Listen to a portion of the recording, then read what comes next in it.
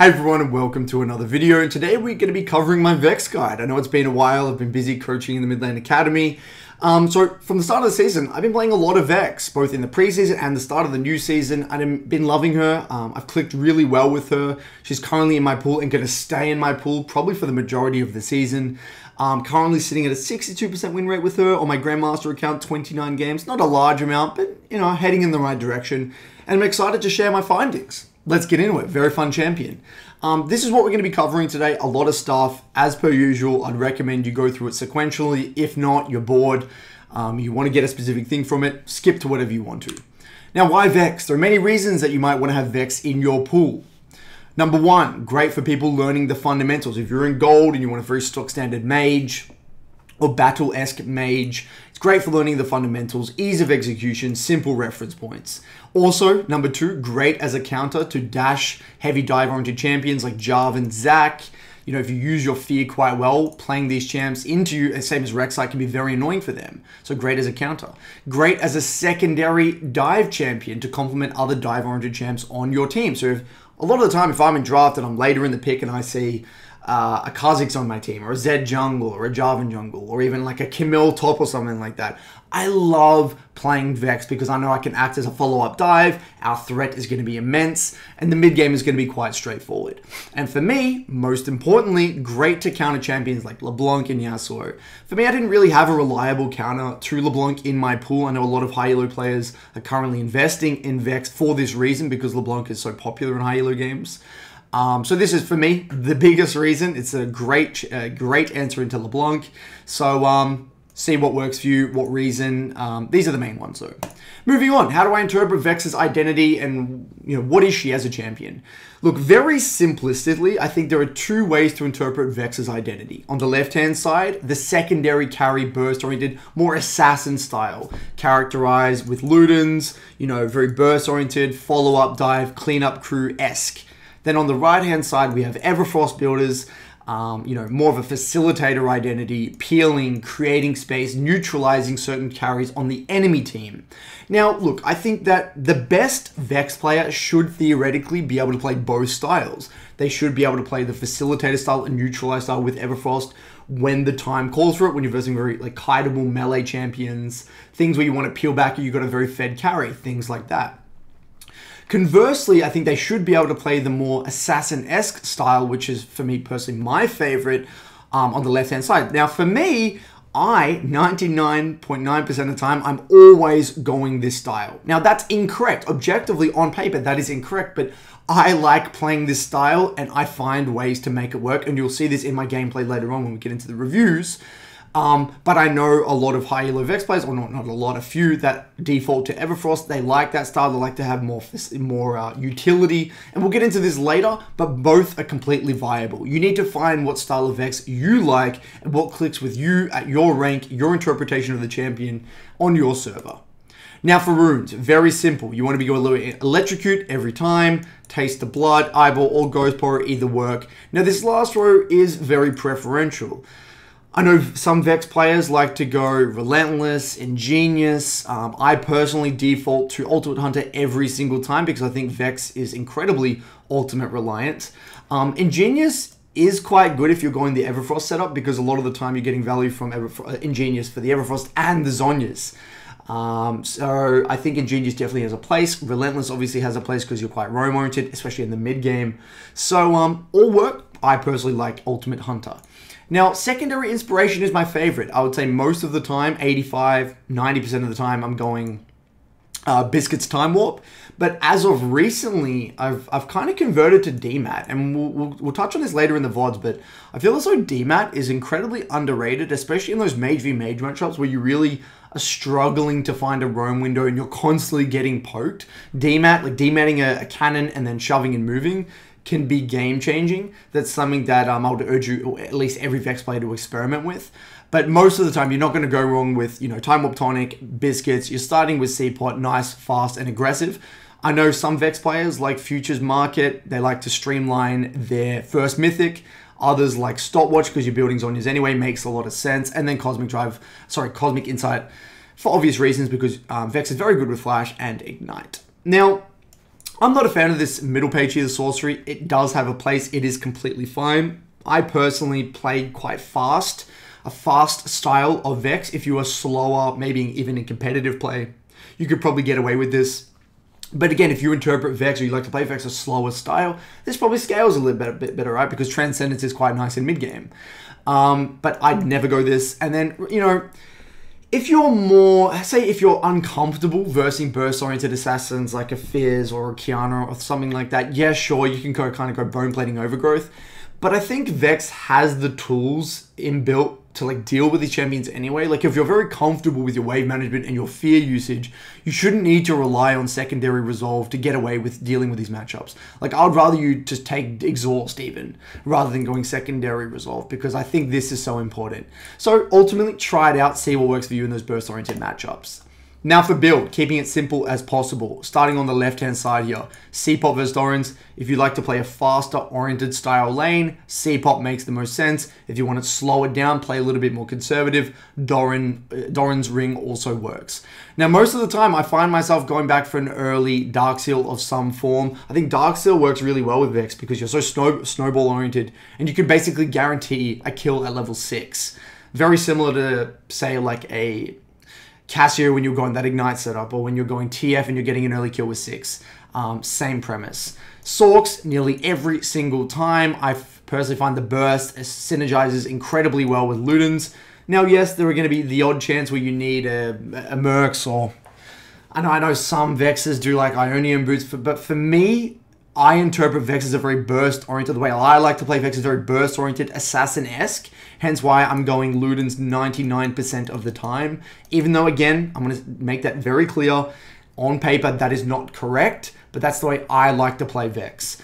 Um, and I've got a note here Everfrost is objectively better into low range melee compositions that you can kite out. Um, so again, keep an open mind.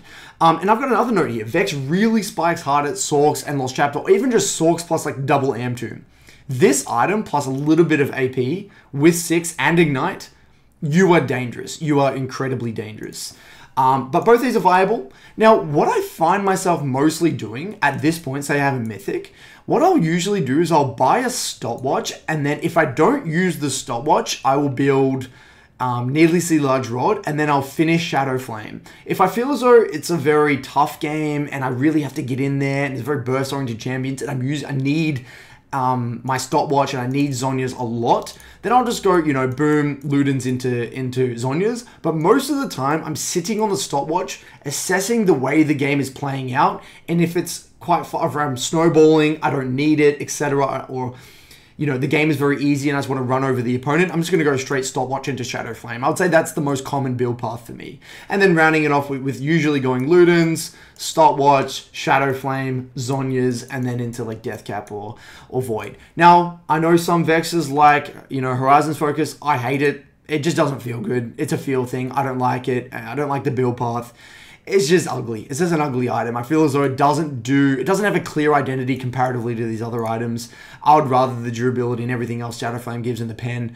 And then Crown, I don't think it really makes sense for Vex's identity because you're either playing Peel and being more facilitator style, or you're being like a burst-oriented assassin-esque battle mage.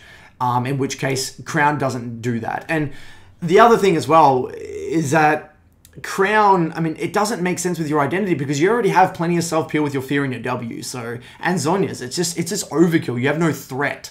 You're, you're a useless champion when you build that item most of the time.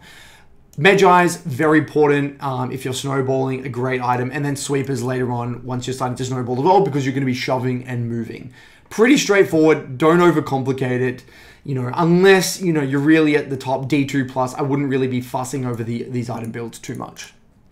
Summoners, for me, 95% of the time I'm going to be going Ignite. It makes sense with the way I interpret Vex as a burst-oriented assassin, synergizes very well with the Sorks and the Ludens, um, and I think just overall it increases Vex's kill threat, th kill threat significantly at level 6 and changes the way 2v2s play out. Especially now since TP has been nerfed, I don't think it's as valuable. Um, so unless you're in a very slow game or you're playing competitive, I just don't think TP really is is that strong. Um, situationally, exhaust into some dive-oriented comps or assassins, and then cleanse situationally into say like a like a TF or a Lissandra. So I might get hate for this, but that's just my interpretation of Vex. At least what's given me success in solo queue. Now Vex's impact is actually tied to the champions that are in the game.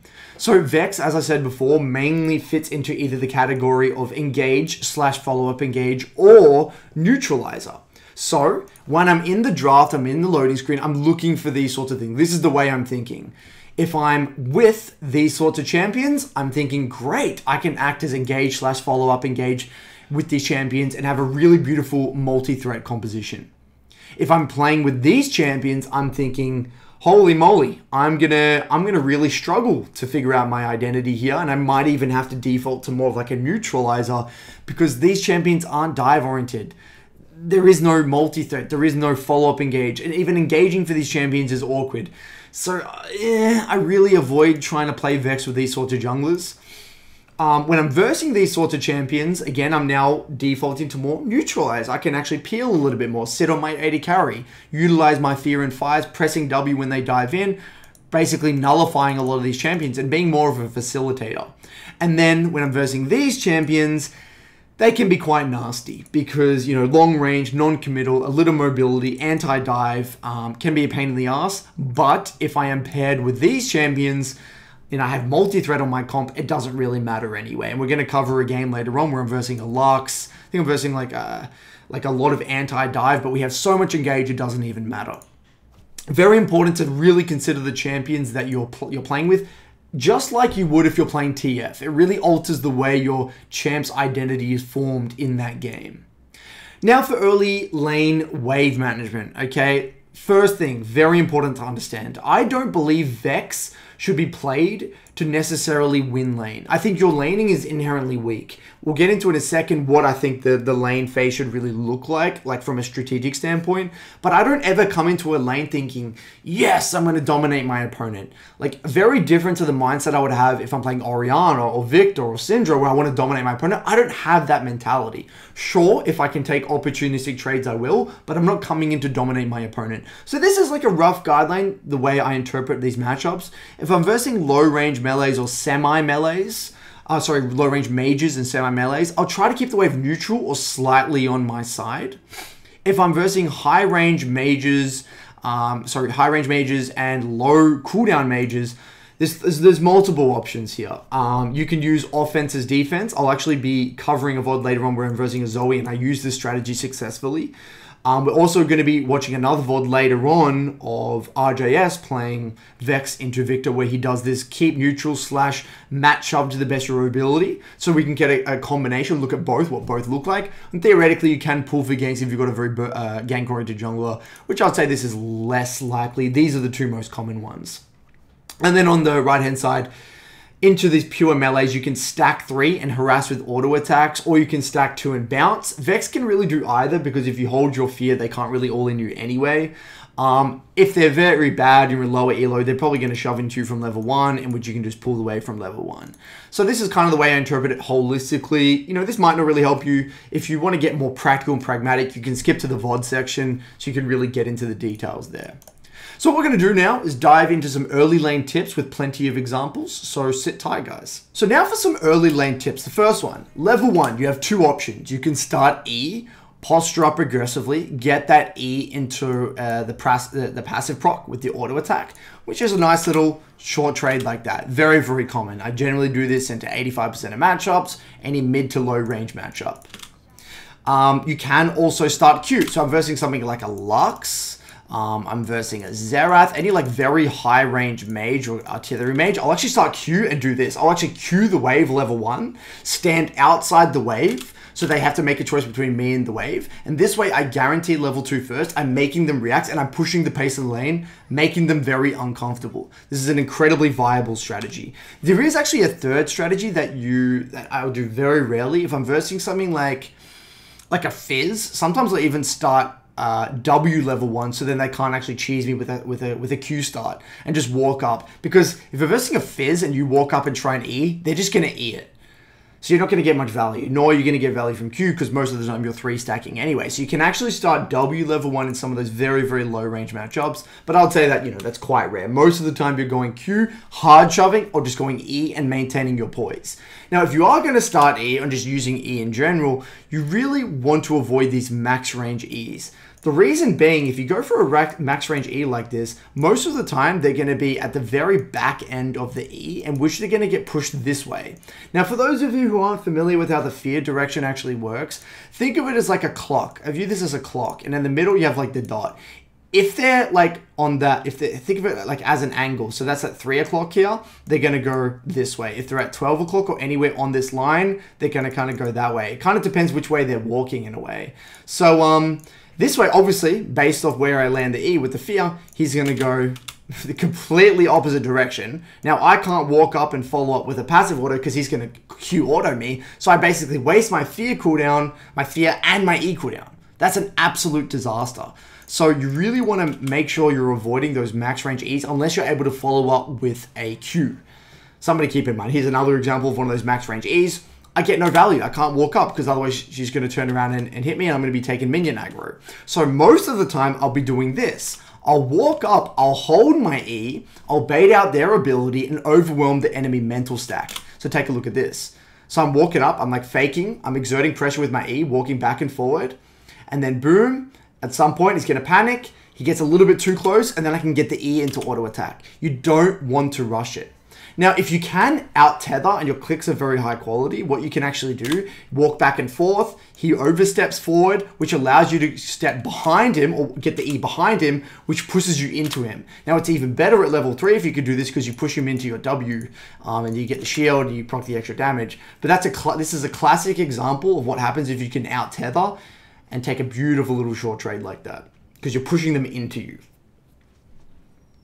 Very nice. Wave clear properly. Now, a very simple one, but I have to put it in here. In here. Make sure that you're Eing first, not queuing first. Because if you E first, you utilize your fear, get that off cooldown, and then you proc, you get the passive proc on all of them, and then you Q3 to proc the passive.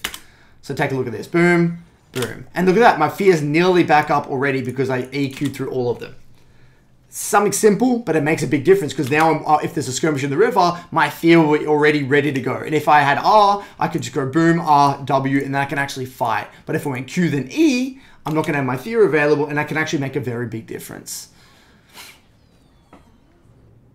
Um, okay, so everything revolves around your fear. Um, it's going to take a little bit of time when you play Vex to get used to your fear, but here, Let's say theoretically, I am here, I actually do it. I use my Q on the wave in front of Lux's face. Now notice, nothing, I'm, I'm useless. Like I have no Q. My E does nothing because by itself, I mean, I can't proc it with anything. My W is super low range and my Q's on cooldown.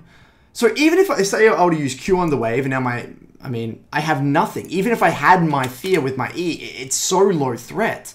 So when you're playing for the, you know, playing to, to shove and use your offense as defense, you've got to be very careful. The analogy or the comparison I'd use here is very similar to playing TF and using like your gold card on a minion in front of the enemy.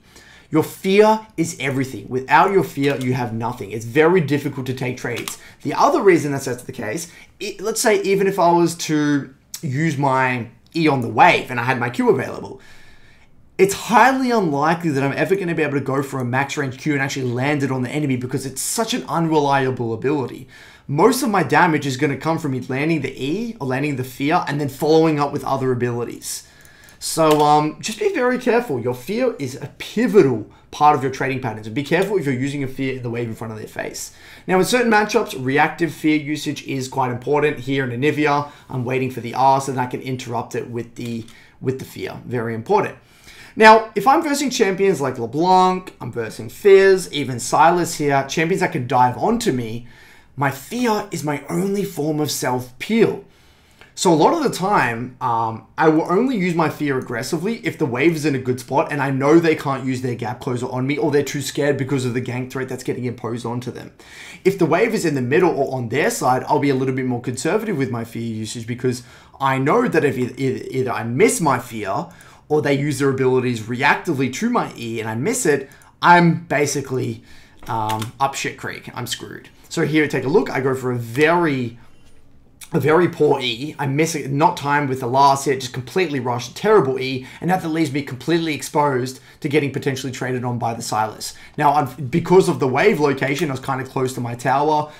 I could kind of navigate away from it, but um, if the wave, I mean, two things. Now my fear is gone, so I actually have to give pressure. I'm probably going to get zoned from this wave. But if this wave was further up here, I'd be in a lot of trouble. So something to keep in mind when you're versing dive-oriented assassins or people that can jump onto you. Um, same thing here. When fear's down, be be respectful. Sylas is able to just jump onto me, take a really, really good trade, and I can do nothing. Sure, I procced a passive because he jumped, he dashed, whatever. But it's you know I can't match that that uh I can't match that trade. No way. And if I, but whereas if I had fear here and he jumped on me straight away, I could Q, disengage right as Q, straight away, boom. Ideally, I have W and I press W straight away, you know, but you get the point. Now, um, you know, okay, how do I explain this? So there's going to be champions that you verse that have very low CC. So, for example, Corki. This is the example I used before. I'm not afraid to use my EQ or like stay in combat essentially. Like I can fear them towards me. I can Q. I can auto attack. I can stay in combat. When I'm versing champions that have follow-up damage or follow-up CC, I got to be very careful. So if I'm versing, say, like a LeBlanc, for example, and I fear and I push them into me or I try to take a trade and I stay in combat trying to go for that extra auto attack, I will get punished. So when I'm versing LeBlanc or like some champion, like even like an Ahri, I'm just going to be going for an E into a Q, getting that short trade, not procking my Electro, because if I walk up for the auto attack, unless I'm inside the wave, the Ahri is just going to charm me on the back end and trade onto me. So you got to be very careful about when you're taking the actual extended trade and getting that extra auto attack on the back end. It really depends on how much threat the enemy can um, impose onto you. Um, another little little small nitpick here, and you'll see in a second, this Anivia ends up missing the E anyway, so it doesn't even matter. But let's say here, I took a nice little trade, I, you know, whatever, EQ. If they're going to trade onto me on the back end, a lot of the time you could just use your W anyway. Even if you're not hitting anything around you, it still gives you the shield regardless. So I can mitigate some of the damage here. I mitigated some of the damage that Nivea did with the Q just by simply using my W reactively. Now, when you don't have fear, there's a last little tip here. When you don't have fear available, don't be afraid, if you have plenty of mana, don't be afraid just to fish for low value Qs or low percentage Qs. If you hit it, you hit it. If you don't, you don't. It's pretty cheap. It's pretty low cooldown. It's not the end of the world. So here, for example, I don't have fear. I'm just going to fish for like a low value or low percentage Q. If it hits, great. If it doesn't, no biggie. So hopefully these give you a little bit of, you know, a little bit of insight into the early lane here. Let's continue on. So one of the most important things when playing Vex is developing the shark mindset. Now you're like, what the hell is the shark mindset? Um, so this is the way I interpret Vex. So post 6, this is when you really come online. You get this beautiful long range engage ability, and I view myself in many ways as like a shark. Now let's just imagine, you know, a shark is roaming the waters, you know, an equivalent of say roaming in the river as a Vex if the shark, you know, there's like that meme, I don't know if it's a meme or if it's real, but if there's like a drop of blood somewhere in the ocean, the shark can smell it and they're going to start swimming towards it and directing their attention towards where that blood is in the water because they can smell the blood. Same thing when it comes to Vex. If I sense or see that there's heavy trading in the side lanes or in the river or in the jungle, boom, I'm going there. I'm, I'm going to walk over there, or in this case, swim over there, and I'm going to look to engage, come in from the side, boom, and take someone out while they're injured. This is what I call the shark mindset. Now, it's important to actually view yourself as like a healthy or I would say somewhat, you know, fit shark in the sense that if you're sitting in lane with low resources, let's just say you're sitting in, you, you started CPOT, but you've got no CPOTs left, you're sitting in lane with 30% HP and only 10% mana, the shark mindset doesn't mean jack shit, does it? Because even if you sense something happening or you see something happening somewhere, you're not going to be able to go to the fight because you don't have the mana or the resource to actually attend. So that's why when I play Vex, I'm constantly resetting, post 6 especially, making sure that I'm as healthy as possible.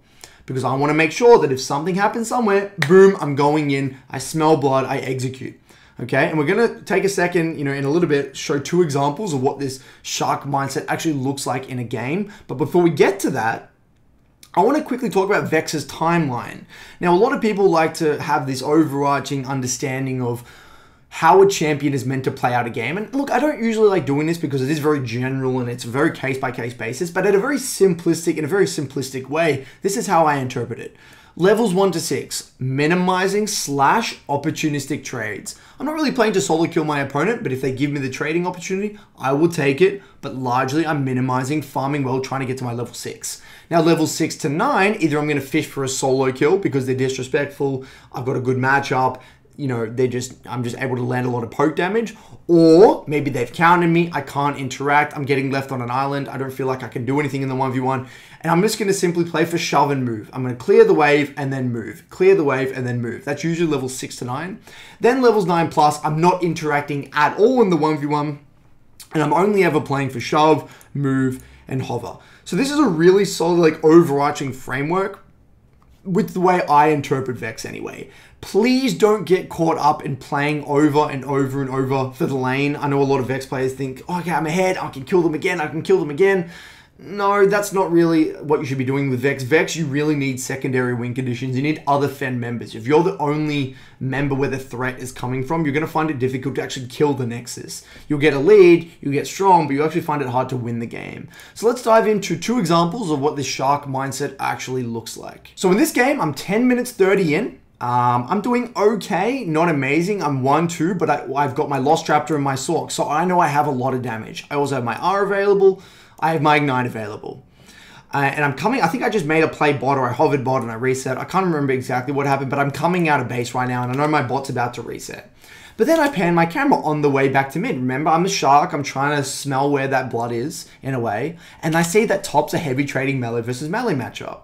So you'll see in a second, I keep panning my camera. Hmm, interesting. What's happening? Because I know I can't make a play bot right now. They're just resetting. So just continually panning my camera top.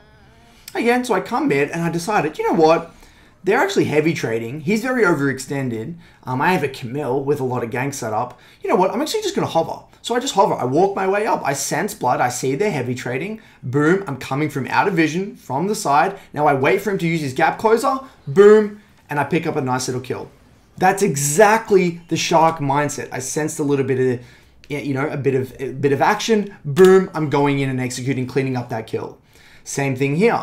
I'm in a tough lane. I know that we're slowly losing this game because I think my team's getting pretty annihilated here. And then I pan my camera top. I see that they've got, I believe the um, the Nidalee had Rift, and I knew that my top laner just died, and I thought it was highly likely they're going to continue to go here, and they're quite low.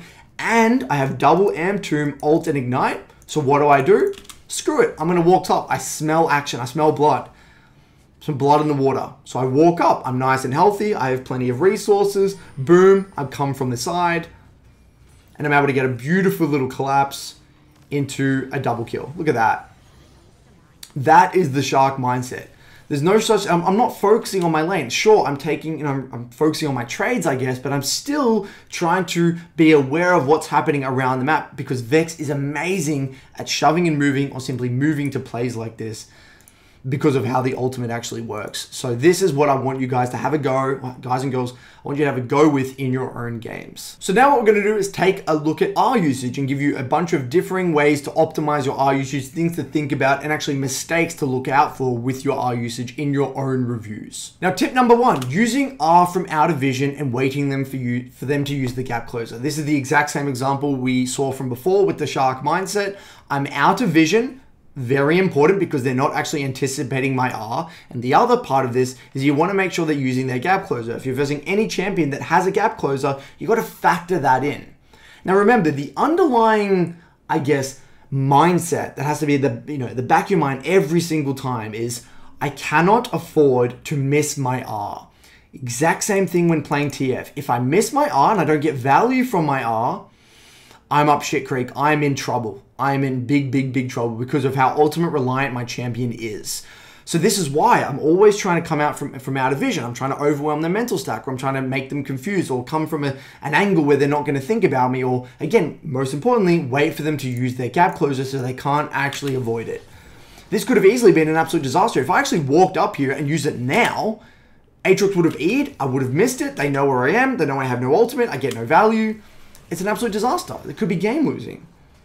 Next one, using R in multi-threat situations. This is the most important R fundamental out of all of them. Now, what I mean by this, what exactly is multi-threat? Multi-threat is essentially, you know, threat is something I talk a lot about in my videos. Threat means, you know, that person is feeling pressured or threatened from a certain member, okay? Now, in most common scenarios, especially in the early game, it's just you versus another person. So right now, if you think about it, in the heat of the moment, Jarvan is directing most of his actual attention, the way he's looking on the screen and his mind. I view it as like a funnel. He's focusing attention here. That's where his mind is actually he's factoring in information. He's probably trying to stay away from the, from the wall with the condemn, maybe trying to stay away, trying to push and move himself to the tower so he gets pushed into the tower by the Hecarim, maybe trying to avoid like a Soraka E, whatever it might be. This Jarvan is thinking predominantly of things that are happening in this area. Now, if I'm coming from this area, I, am in a way in his blind spot. It's very difficult for him to process information coming from two differing angles which means that it's easier for me to land my R because they're just not gonna avoid it. So now I'm coming from the side, I'm able to land a nice little R. That's the way I like to think about multi-threat. Now this is an interesting one. This one you could borderline say isn't multi-threat, multi-threat, but it kind of is at the same time. Now, to get a little bit of context, I'm kind of coming from outer vision behind my Vayne. My Vayne is quite strong, but I see they're all tunneling on my Vayne. Now, theoretically, it is multi-threat because they're not really expecting my R to come from behind the Vayne, and I know my Hecarim's coming in from the side, so maybe they were thinking about Hecarim potentially flanking them.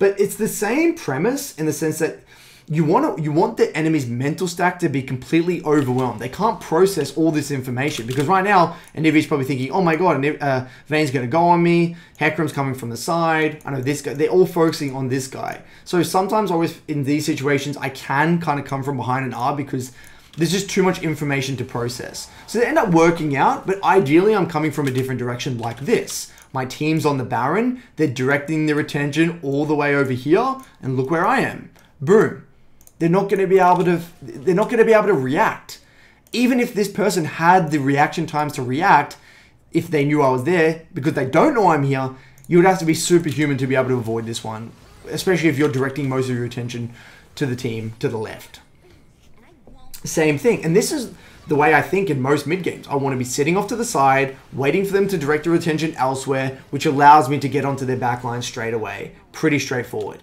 Now, if you have been very conservative with your R throughout the game, which generally is the case, um, like you haven't really been using it, you've been, been holding onto it a lot throughout the game. Sometimes what I'll actually do is I'll just walk up and I'll just randomly use it because they never would think I would use it. If I'm holding my R a lot throughout the game and being very conservative, sometimes you can randomly just walk up point blank and use it because like, nah, Vex hasn't used like that the entire game. So sometimes you can actually just do these really stock standard front to back ones. Now, this is a tip that isn't really for beginners. I would say if you're a more advanced Vex player, this is something you can experiment with the premise is still the same. Um, now, if you're in lane at a very close range, because the R is quite, it's quite a fast projectile. It's like, I think it's the same speed as a Lux Q um, from, from memory. Um, it can be quite difficult for the enemy to react, especially if they're not expecting it. So you'll see here in a second when I play this clip, I'm trying to masquerade my movements such that I, I'm trying to make it as, make the Ahri feel as though I'm simply playing for farm rather than um, ult. So here I go for like a trait, and then I walk back. See you in a second. I walk back, then turn around with R. See that? It's because I know, I think, I remember here that um Ahri had no R, so I, I felt like I had a little all-in window. So what I was trying to do, I was trying to confuse her by pretending I'm going to go backwards and then overwhelm her by instantly using my R while pathing backwards. Very similar to say like the Cassio R flash or Cassio going back and forward and randomly using R. Now in this case, I used it now, and this is why it's not for, for not for beginners because if I use this and I miss it, again, I'm in a I'm in a, I'm in a big hole now. I'm in a really really big hole. I don't want to use my R like this and miss it. So if you're feeling confident, you feel like you've got a read on the enemy and you get a solo kill, sure, but I would rather you be a lot more conservative with it. The classic one, following up on CC, pretty straightforward. You can also juggle tower aggro in this situation. I take aggro and then I R, and then I re-aggro, boom. In this case, Camille dies, but you know, you can see the point. Um, big mistakes. So now we're going to go over the big mistakes, big R mistakes that I see both in myself occasionally, in my own reviews, and also more importantly with uh, coaching clients. The first one, rushing R after the first reset. So let's say someone plays a bunch of Vex and, you know, they're really focused on their pre-fight positioning, which is a common learning objective I said a lot of Vex players. I say, look, man, you really need to focus on coming or getting yourself in a nice angle before the fight. So here, I thought they were going to play for the dragon, so I'm sitting off to the side here. I focus all of my attention on that. So then I'm like, all right, great. And I'm really poised. I get my first ultimate. Great. Now I get all excited. I get that dopamine hit. And I'm like, go, go, go. Next. R. Oh and then I miss it. Oh, it's just like, you know, it can be game losing again. So, my advice is I would urge you to like just wait a second, but calibrate. Don't rush. Like, most of the time in this situation, they're going to be anticipating the immediate R. Worst case scenario, you just chill. Sit off to the side. It your R stays on cooldown for a long time. You have plenty of time to use it.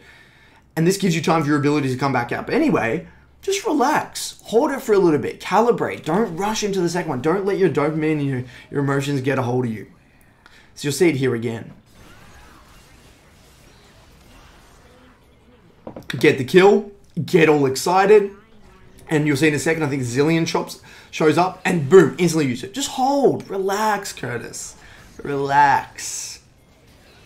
Anyway, um, not overwhelming the enemy, mental stack. Same thing before. Ideally, you're coming in from an angle where they're not anticipating your R. Now, in this situation, I got a little bit cocky. I'm coming in very linearly, and of course, they're going to avoid it.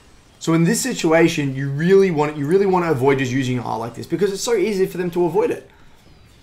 Another one, low value R's. Sometimes you you know you're going to be feeling pretty confident. Your team's ahead, you're ahead, and you're thinking, oh, you know, I can one shot anyone. I've got my lost chapter. I've got my socks. I can one shot anyone.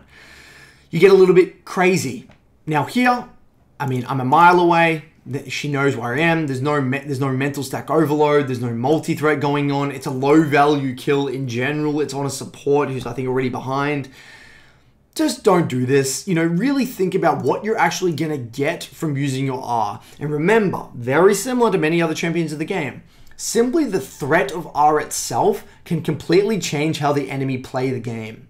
If I use my R here and I miss it, now for the next what minute and a half or whatever it is, they're going to know I don't have R. So they can position however they want. They know I'm basically not a champion anymore. Got to be very careful. Understand the value you're getting from an R.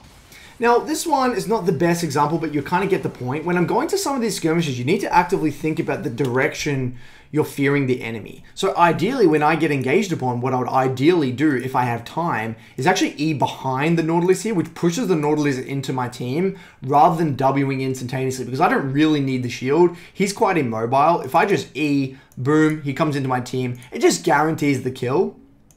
Now, if they have mobility and you feel as though they can flash it, it can be quite dangerous because then if you E behind and they flash here, they go even further that way. So there is risk, but if you're versing in a mobile champion that you know doesn't have flash and you're face checking or you know you're heading to a skirmish, you know, be quite, at least be cognizant of what can happen with your fear direction. At least try and optimize it, something to think about.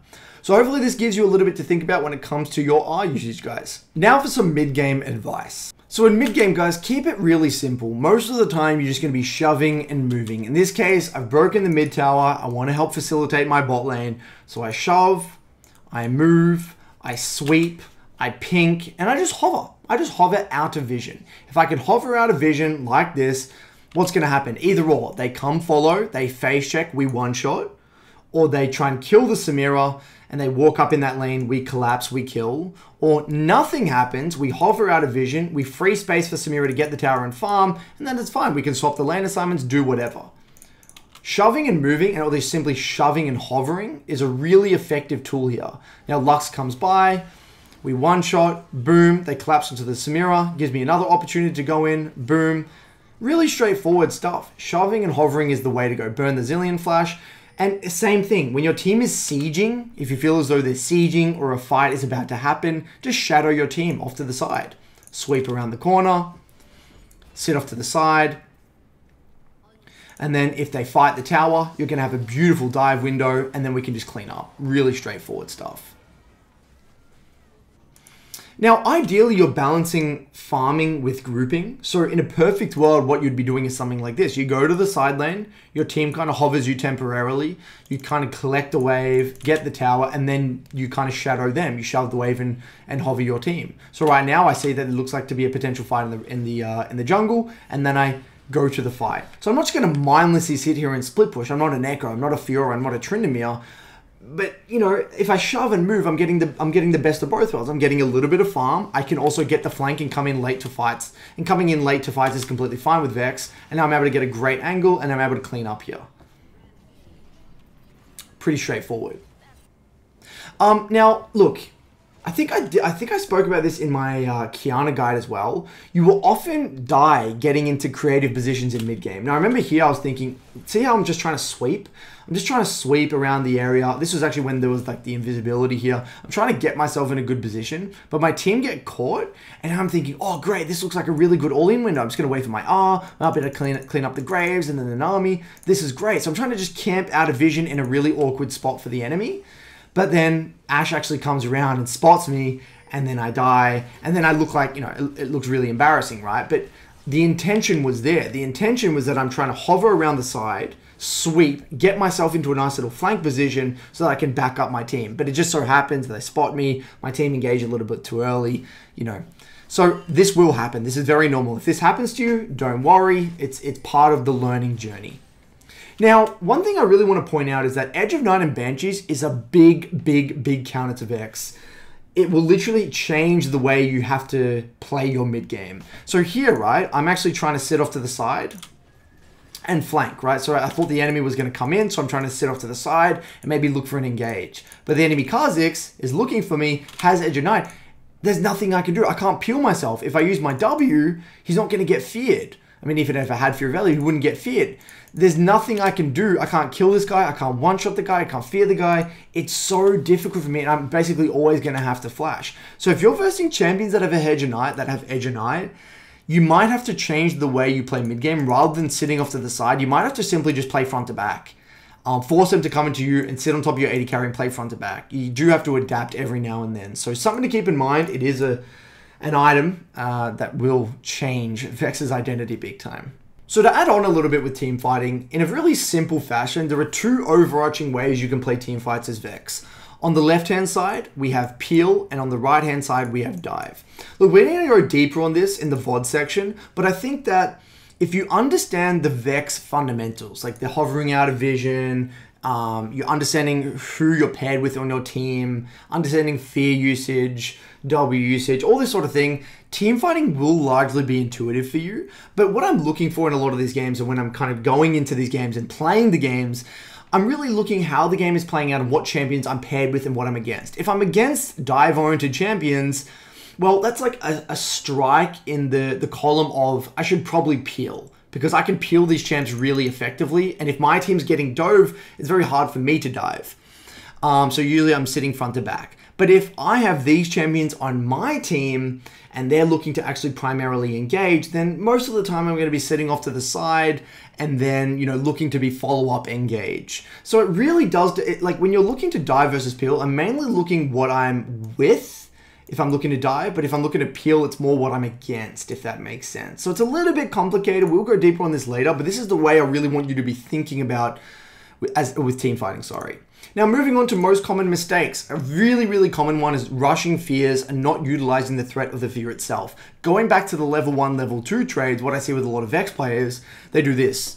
They see the enemy over here, farming, say this is the Vex here, and like, all right, they see that the, the, the fear bar charge up. As soon as it gets to like the top and it goes red, they literally la di da di da walk up and they just look. It's just so linear. You know, the enemy knows exactly what the Vex is doing. So, well, the enemy's like, well, no shit, you're looking for a fear, so I'm just gonna walk back. I'm gonna sit on the max range of that E, and then you're never even gonna be able to proc the passive. Very, very common mistake. So what you want to be doing is you want to be walking up on that tie rope on the edge of the E range and going back and forth. That way, you're going to be utilizing the threat of the fear itself to maybe deny the enemy farm, make them scared, make them hesitate, and at some point they're going to get frustrated, they're going to overstep, and then you can you can capitalize appropriately. We see this both in the early lane, we see it in mid game as well. People rushing fear, Um, not prepping their fear before fights, a very common one. Um, another one, because Vex has like this very AoE functionality oriented style towards CSing, like just with the EQ through the entirety of the wave, it's very easy to get complacent and have this blase approach to CSing. I myself am guilty of this at times. I think my CS should be much higher in a lot of games. Um, this is something that you are going to have to address at some point. It's probably not the most important thing to focus on, but at some point you're going to have to address it. Um, going in too early in fights. Again, when you're Vex, you really want to overwhelm the enemy mental stack. The longer you wait, in a way, the better it can be because they're going to have to think, oh my god, when's Vex going to go in? When's Vex going to go in? So if your team's on an objective, they're in the Dragon Pit like this, and you're sitting off to the side, you really want to milk the fear that you're instilling into the enemy. You don't want to rush it. You want to wait till they that they overstep, and once they overstep, then you can capitalize. Going in too early is a very big theme. Not having fear available for R, not thinking about stacking it before fights or conserving it, pretty straightforward. And the last one here, failing to identify win cons, and this will be one that we go deep into in the VOD review section. Now, for matchup tier list, look, I just, I don't even like tier lists, guys. Like, I made this very clear. T tier lists is so hard to actually make when it comes, especially when a champ like Vex, when you're not even played for the 1v1. So what I tried to do is I tried to take into account both the enemy strategy holistically and how it interacts with Vex's strategy, as well as laning. So I've kind of, you know, put it into these categories. For example, Akshan is a very complicated one because theoretically, Akshan can't kill you, but you can't kill Akshan, which, which means most of the time Akshan's just going to get priority, which means he can theoretically shove and move. Now, does that mean it's necessarily unfavorable? Yeah, well, yes, I think holistically in the game it is unfavorable because you can't prevent Akshan from roaming. And in the mid game, it can be a little bit annoying as well, in the side lane specifically. But it doesn't mean he can kill you you know, so you can see how these are really, it is a little bit awkward. These ones down here, though, you, a lot of the time, you're just going to get annihilated in lane. Like, Cassio will, can just run at you and kill you. A lot of these low cooldown control mages, they're going to outrange you. They're going to bully you. They have way lower cooldowns.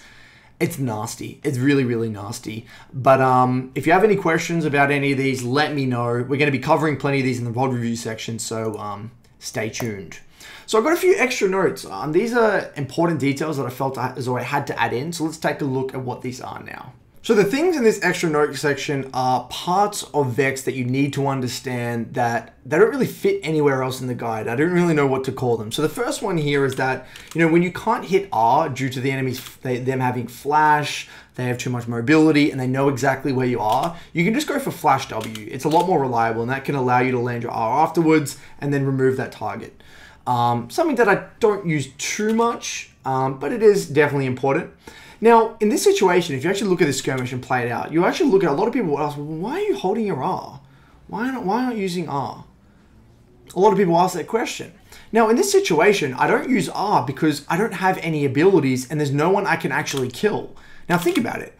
If I actually R the Lee, what am I going to do? I don't know if he's going to get low enough for me to uh, for me to die. I know Hecarim has no abilities. Even if Hecarim were to go in, it's not going to be enough for me to kill. Look at this, because I have nothing to follow up with, and I would have just wasted my R. So it's better for me in this situation if I know, if I either have no abilities or I know that I can't actually clean up or I can't get the reset on that target or I can't kill that target, there's no point in me using R. I might as well conserve it, see how the fight plays out. Again, overwhelm the enemy mental stack. And here I thought I could get a nice little sneaky R onto the, the, the but it wouldn't have mattered anyway. Even if I hit it, it wouldn't change the fight. But you get the premise. A lot of the time, again, I would urge you to be on the side of holding your R a little bit more, calibrating, looking at who's getting targeted, waiting for your ability to come up, and when you know that you can kill someone, then you use the second R. Really got to get yourself into the habit of holding that second R. Very important. Now, there are harsh realities of holding R. This is a classic moment where I'm trying to hover and shadow my jungler who's going for an invade. Now, he just goes for a little bit of a collapse on the lead. Now, you'll see me here, kind of hovering out of vision. Now, I have R. Now, in this situation, I'm weighing up between two things. One, do I even need to R? Isn't Lee just, I thought Lee was just dead. Do I even need to R? think, because remember, I want to conserve my R as much as possible. If I don't need to use it, I don't want to use it because it's such an integral part of my champion's kit. The other thing is because I'm at quite long range and it's kind of coming in from the same direction, I don't believe I'm necessarily overwhelming the mental stack of the Lee Sin. Like I'm not coming in from a random direction. And it's just very long range. It's very unreliable. And I don't know which way Hecarim's actually going to push the Lee Sin because, and I don't know where the fight is going to go. When I'm at a long range like this, I don't, and I don't know which direction the fight is going to go. It's really unreliable for me to hit it. So I just hold it. I hold, I hold, I hold, thinking, oh, okay, he's probably dead. I hold, but then he survives. And then I die. This will happen a lot. This will happen a lot, guys. So my takeaway from this situation is that it's largely noise. I don't regret my decision. I actually don't. Because the, the, the information I had at the time, it is so close, and, and the way Hecarim in, like, interacts, he's going to have eyes, he's going to push in certain directions. I don't know which way Lee's going to go. What I should have done, my adaptation should have been, I should have sat in this brush, you know, then feared the Syndra, then ran away. That should have been my takeaway. But I don't regret not using my R here. You got to be realistic with yourself. Is it even possible for you to land that R? Very important. Um, this, okay, I want to clarify the difference between multi-threat and non-multi-threat because I think some people conflate the two. So this is a team fight where I actually think is not multi-threat. So if you actually take a look at this, four of our members are on this side and then Hecarim's kind of coming up from behind, like you'll see on the minimap here, kind of coming up from around those wolves. Now the problem with this is that yes, we do have a lot of dive. Like I guess Warwick is dive, Rakan is dive. We're all dive in a way, but we're all coming in from a similar direction because by the time we can actually follow up, look at this. We're all theoretically, we're all coming in from a very similar direction. Like they, they're not. It's not like anyone's flanking or coming in from any of these random directions. We're all somewhat in the same vicinity, and because Hecarim's so far away from everyone else, there's no multi-threat actually occurring here. I can't get onto the backline. I can't R onto anyone onto the backline. So it was very difficult for me to do anything. So then I'm forced to play the front to back. I mean, to be honest with you, I probably should have just here R'd the Zilean and one-shot the Zilean, and then that way would have forced him to ult himself or even one-shot him and he wouldn't got his ult off. But this is an example of a fight where it looks good on paper, like it looks good, but it's actually not in reality because there's no multi-threat going on. We're all just funneling into them in one direction. Xayah gets a massive ult. This is the difference. This is multi-threat. Hecarim's coming in from one direction, and I think this is Rakan coming in from this direction as well, and then me and Trista coming from this direction. This is multi-threat. Look at that. That is, this is multi-threat literally different directions. Hecarim's literally looped around this way and gone that way, and I'm coming from this way. Literally pincering. That is multi-threat. That's a great team fight.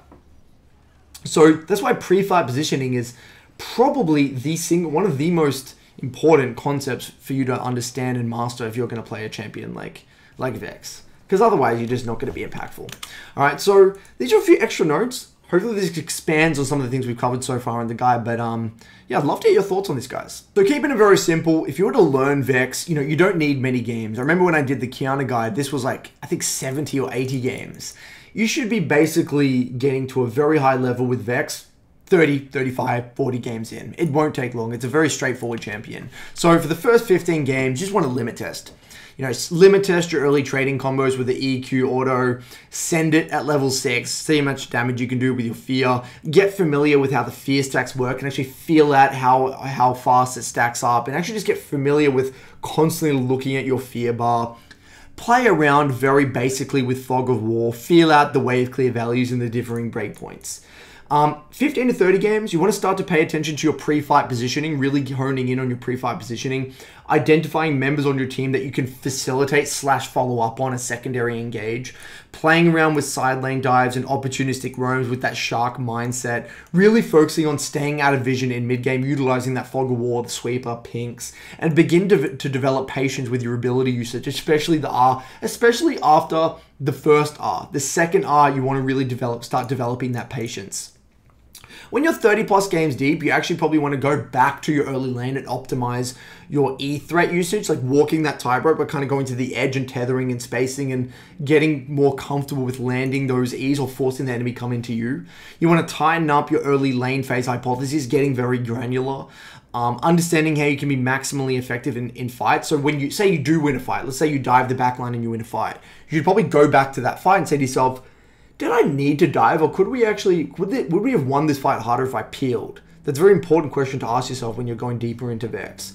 Look for roam opportunities and understand the value of roams. If you if you go for a roam somewhere, look at what you lose on the other side of the map, or look at what opportunities you miss out on if you go for that roam. Like if I'm dive my top lane Jax, but then I leave my bot lane exposed, I need to ask myself, well, maybe it was better for me to not go top here, to leave the Jax win by himself and then just just hover bot. And then if I help my, my bot lane win we're probably going to win the game anyway. Just start to think more holistically about what value you're getting from your roams and then skirmish optimization creative hovers etc um, we'll get into this later on.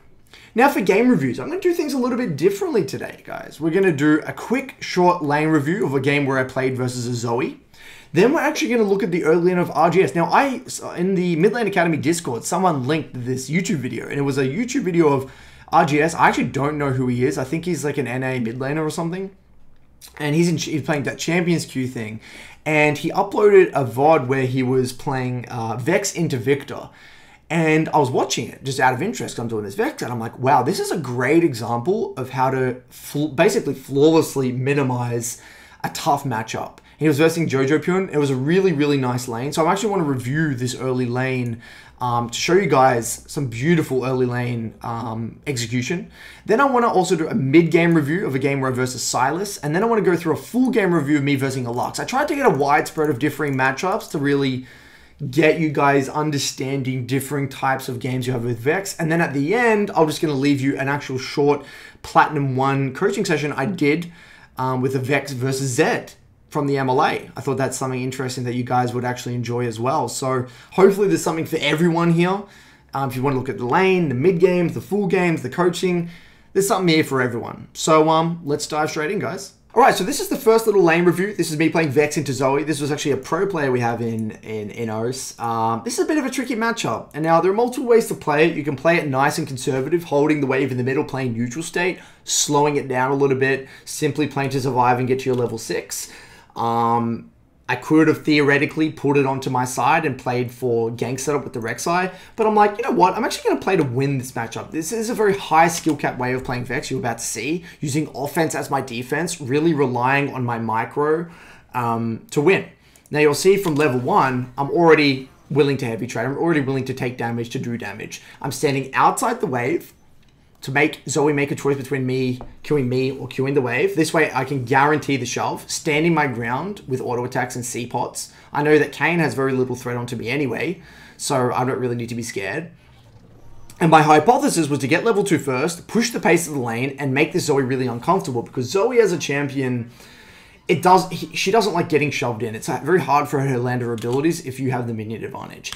Now this E is disastrous. What I should be doing in theory, is walking up, getting into E range, walking back and forth, very clicking close to my character, overwhelming her mental stack, waiting for her to maybe overstep for a last hit or something, then E auto. But what I do instead, she baits me out a little bit. I thought she was going to walk walk in front of me here. Um, to get her passive auto onto me, she faked me out and then baited out my E, which was really good micro from her.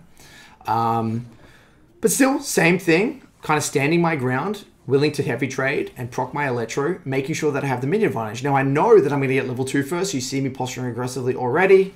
Boom. Fishing for an EQ. Now, there's many times where I probably wouldn't EQ here because I don't actually have my fear available. Most of the time I would wait for my fear to come up then EQ. But because I have the immediate level 2 versus level 1, I'm like, screw it, I'm going to send it. I just want a heavy trade because I can maybe get a kill here because she's put herself into a little bit of corridor here. Now, I could have flashed and autoed her and killed her, but I wanted to conserve my flash, and I felt like I'm already in such a good position here. Um, I don't need to flash after. I'm probably going to kill her soon anyway. I was a bit of a wasted Q there. I probably should have been EQing the wave here just to make sure I get the wave in, because this wave state's a little, it's a little awkward. But not too bad. And I remember here, um, you'll see in a second, I ping mid, and I ping that Zoe has no flash, we're able to dive. Now, just for reference, this is this is a very high skill cap way of playing Vex. I wouldn't recommend playing Vex like this for beginners. This is only if you're quite confident in your micro, um, you're you're versing a low threat jungler, or you have very good jungle tracking. This is not something I would recommend for the average player. Um, so, like I said, to reiterate, if I were playing this, if I was a beginner or a platinum player, whatever, I'd probably keep the wave in neutral state. Just relax, stand behind the minions, use the minions to block the Q damage, play more conservative. Now here I messed up big time. I should have 110% immediately reset right now. I shouldn't have touched this wave. I should have reset, come back, and got my Dark Seal. Now the reason this is actually very important is because I don't want to get shoved in by Zoe unless I'm actively playing to set up ganks, which I could theoretically because I have a Rek'Sai. But I would much rather just independently win the lane in this situation, allow my Rek'Sai to gank sides, in which case I should have insta reset. That way I would have been able to match the tempo somewhat, and then I would have been able to get the shove out again, and then continu- continuously push the pace of the lane. But I end up greeting, staying for two whole waves. Zoe comes back, which makes it really hard for me. So um, she ends up trying to push me off the wave. It doesn't really matter, and then up resetting, getting Dark Seal Tier 1 boots. Now, fast forwarding a little bit, keeping it very related to Vex fundamentals. She's kind of got the minion advantage right now, so I'm kind of getting shoved. Not much I can do. I know Kayn's on top side, but I still thought there wasn't much threat here onto me. Zoe walks past the wave. I end up using my W reactively. I get a little bit chunked out. To be honest, I didn't expect Galio to come. I, I thought that he wouldn't roam this early, but it is what it is. Okay. So, not too bad. Now the wave is bouncing out a little bit, and you'll see what I do. Now when my fear's up, fish for an EQ. I actually E'd as the fear was coming up here, which is quite nice. Like, can sometimes catch the enemy off guard, end up missing it. Now, I just take the heavy trade.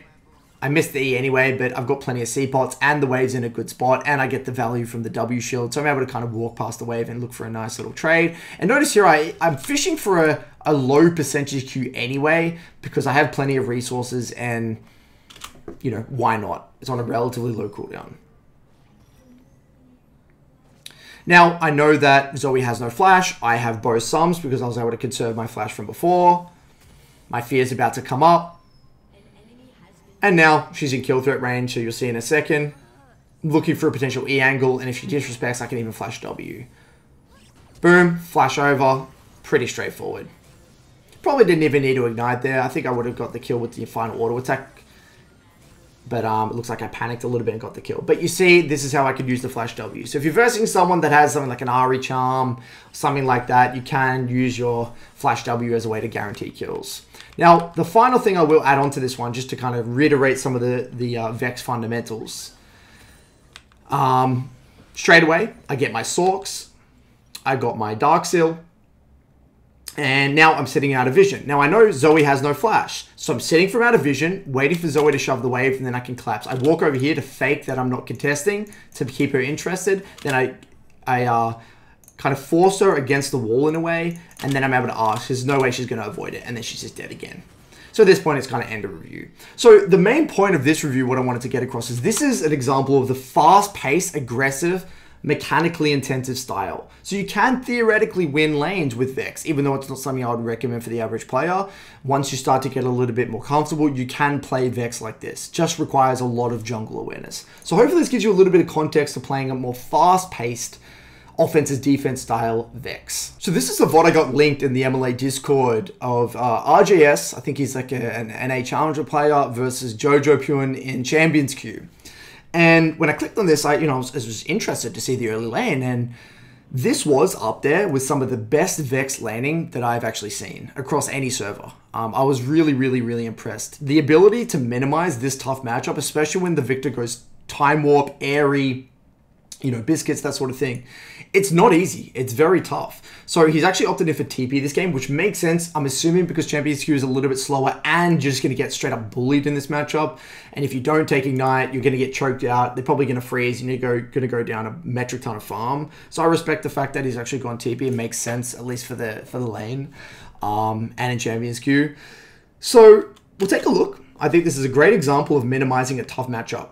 Now, one thing that's really interesting is that he Viktor came to lane late, so he was actually able to get a few autos on the wave level one, which is very important because I actually feel as though if Viktor was at, at, in the lane level one and Vex wasn't able to get these auto attacks on the wave, I think Viktor would definitively be able to get level two first and potentially slow build or get the minion advantage into the Vex, which would make Vex's life quite miserable what I think RJS is doing, again, my interpretation of what he's doing, is he's trying to keep the wave in neutral state and kind of use his offense as defense. Similar to what I did before with the Zoe, but you can't be as aggressive into a Viktor as you can be into a Zoe because Viktor's cooldowns are quite lower. He's essentially using his offense as defense. He's never planning to kill the Viktor. All he's trying to do is farm to the best of his ability, minimize damage taking, taken, trade a little bit of his HP for last hits, and then just come back with TP. He wants to make sure he gets to six safely as possible.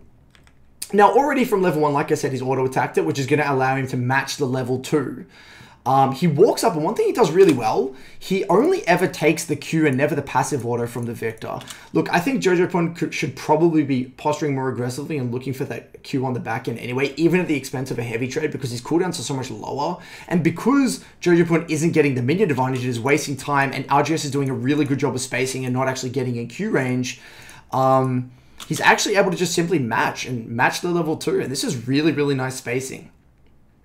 Really nice spacing and never giving Viktor the, the opportunity to follow up on that Q with the passive auto. And this is all predicated on the fact that he started autoing the Lave level 1 ASAP. Very, very smart. Now look what he does here. He walks up, Jojo doesn't respect, and then boom, he's able to get the E behind the Viktor, force him into him, and get a double auto to proc the Electro. Very, very nice. That was even through um, the, the Q shield there, which was which was beautiful. Nice, nice, very nice sidestep on the E there. And look at that, able to somewhat match level 2, trading a little bit of his HP for the wave. You'll see here, it takes a bit of damage for the last hits.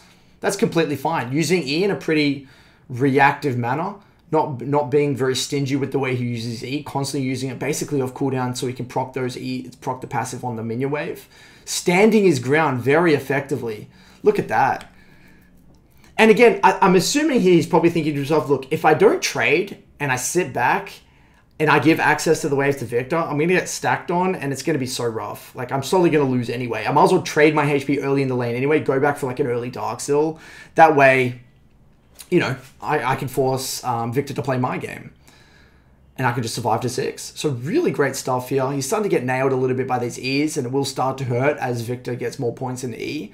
But he's done a really great job here, minimizing damage. Max range Q, wouldn't be surprised if he starts using W at times here to maybe minimize some of that damage. Looking for these high value E's so he can keep using that passive auto on the wave to match the shove. And I'm assuming he's probably going to go for a reset soon here anyway. He's probably trying to finish off this wave with a max range EQ and then probably reset, I'm assuming. Yeah, lovely. Look at that. Really, really solid. So yeah, not you know he's not winning the matchup, like he's not dominating the matchup, but he's survived probably the one of the hardest uh, parts of this entire lane phase. So beautiful comes back, goes for he actually goes for an early Doran's. Now this is interesting. So when you're playing a fast-paced lane, you can go Doran's for a little bit of an early damage spike. Durability gives you a bunch of everything: sustain, a bit of like bit of mana, bit of durability with the AP, HP, um, it's quite a solid purchase. I personally don't do it all that much in solo queue because I feel as though I get the same, a similar amount of durability with the Dark Seal, and I like the snowballing effect of Dark Seal.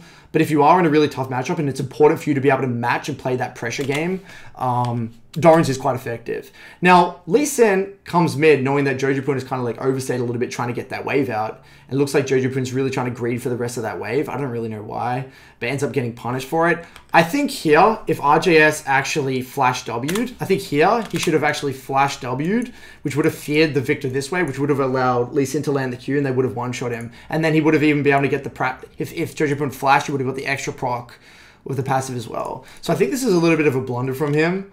Um, I think what he was hoping for is he was hoping to probably E behind, which would push him into the Lee. But um, he stopped to auto attack and he probably realized the spacing wasn't as good. I think you'll see, yeah, I think that's a bit of a misplay from RJS there. But still, you still get the flash from the Viktor while conserving your flash, which is completely fine. Maybe he didn't want to blow flash because he wanted it for a team fight at level 6 or something, a play at level 6, which potentially is the case. I, I can't read his mind. But still, Lane's in a beautiful. He's only down 6 CS, and the wave is kind of coming to his side. And he's burned Viktor's Flash, so that's amazing. This basically guarantees that he's going to get to his level 6. So it looks like he's kind of pinging mid because he knows the wave's on his side. And this is kind of the benefit of like Champions Queue. You can kind of communicate with your jungler and explain your intention. Um, but Jojopyun reads the play, knows his wave is cooked, so he's able to ward out that gank. So this is where the lane will get a little bit tricky because now the wave's on his side and he's getting poked. Um, so it'll be interesting to see what he does here. Okay, so he's trying to thin out the wave a little bit. Yeah, so this is where it gets nasty. And notice how he uses that W. Look at that. He uses the W to mitigate some of the damage on the back end from the from the Q. Look at that. Quite nice. But yeah, this is this is much harder than before. You can already notice straight away when you're getting shoved in like this, it feels terrible. Because your cooldowns are so much longer than Viktor, or significantly longer than the Viktor, and you're just getting poked. So he's got to sit tight. He's got to survive. Farm to the best of your ability. He's farming okay. I mean, 32 CS by five minutes. Not not amazing. 33 CS by five minutes. Not amazing, but it's it's solid. Very solid. So now he has no more C-pots. So it wouldn't surprise me if he just bases on a cannon, shoves a wave and bases on a cannon. One thing that I would like to see here is, even if Jojopyun froze, I wouldn't care. Like, just just get it to the best of your ability. You can't really. You don't have a choice. Looks like he's going to go for like a Q, and then he just resets again. Yep, so he's going to get frozen on a little bit. He has to accept reality.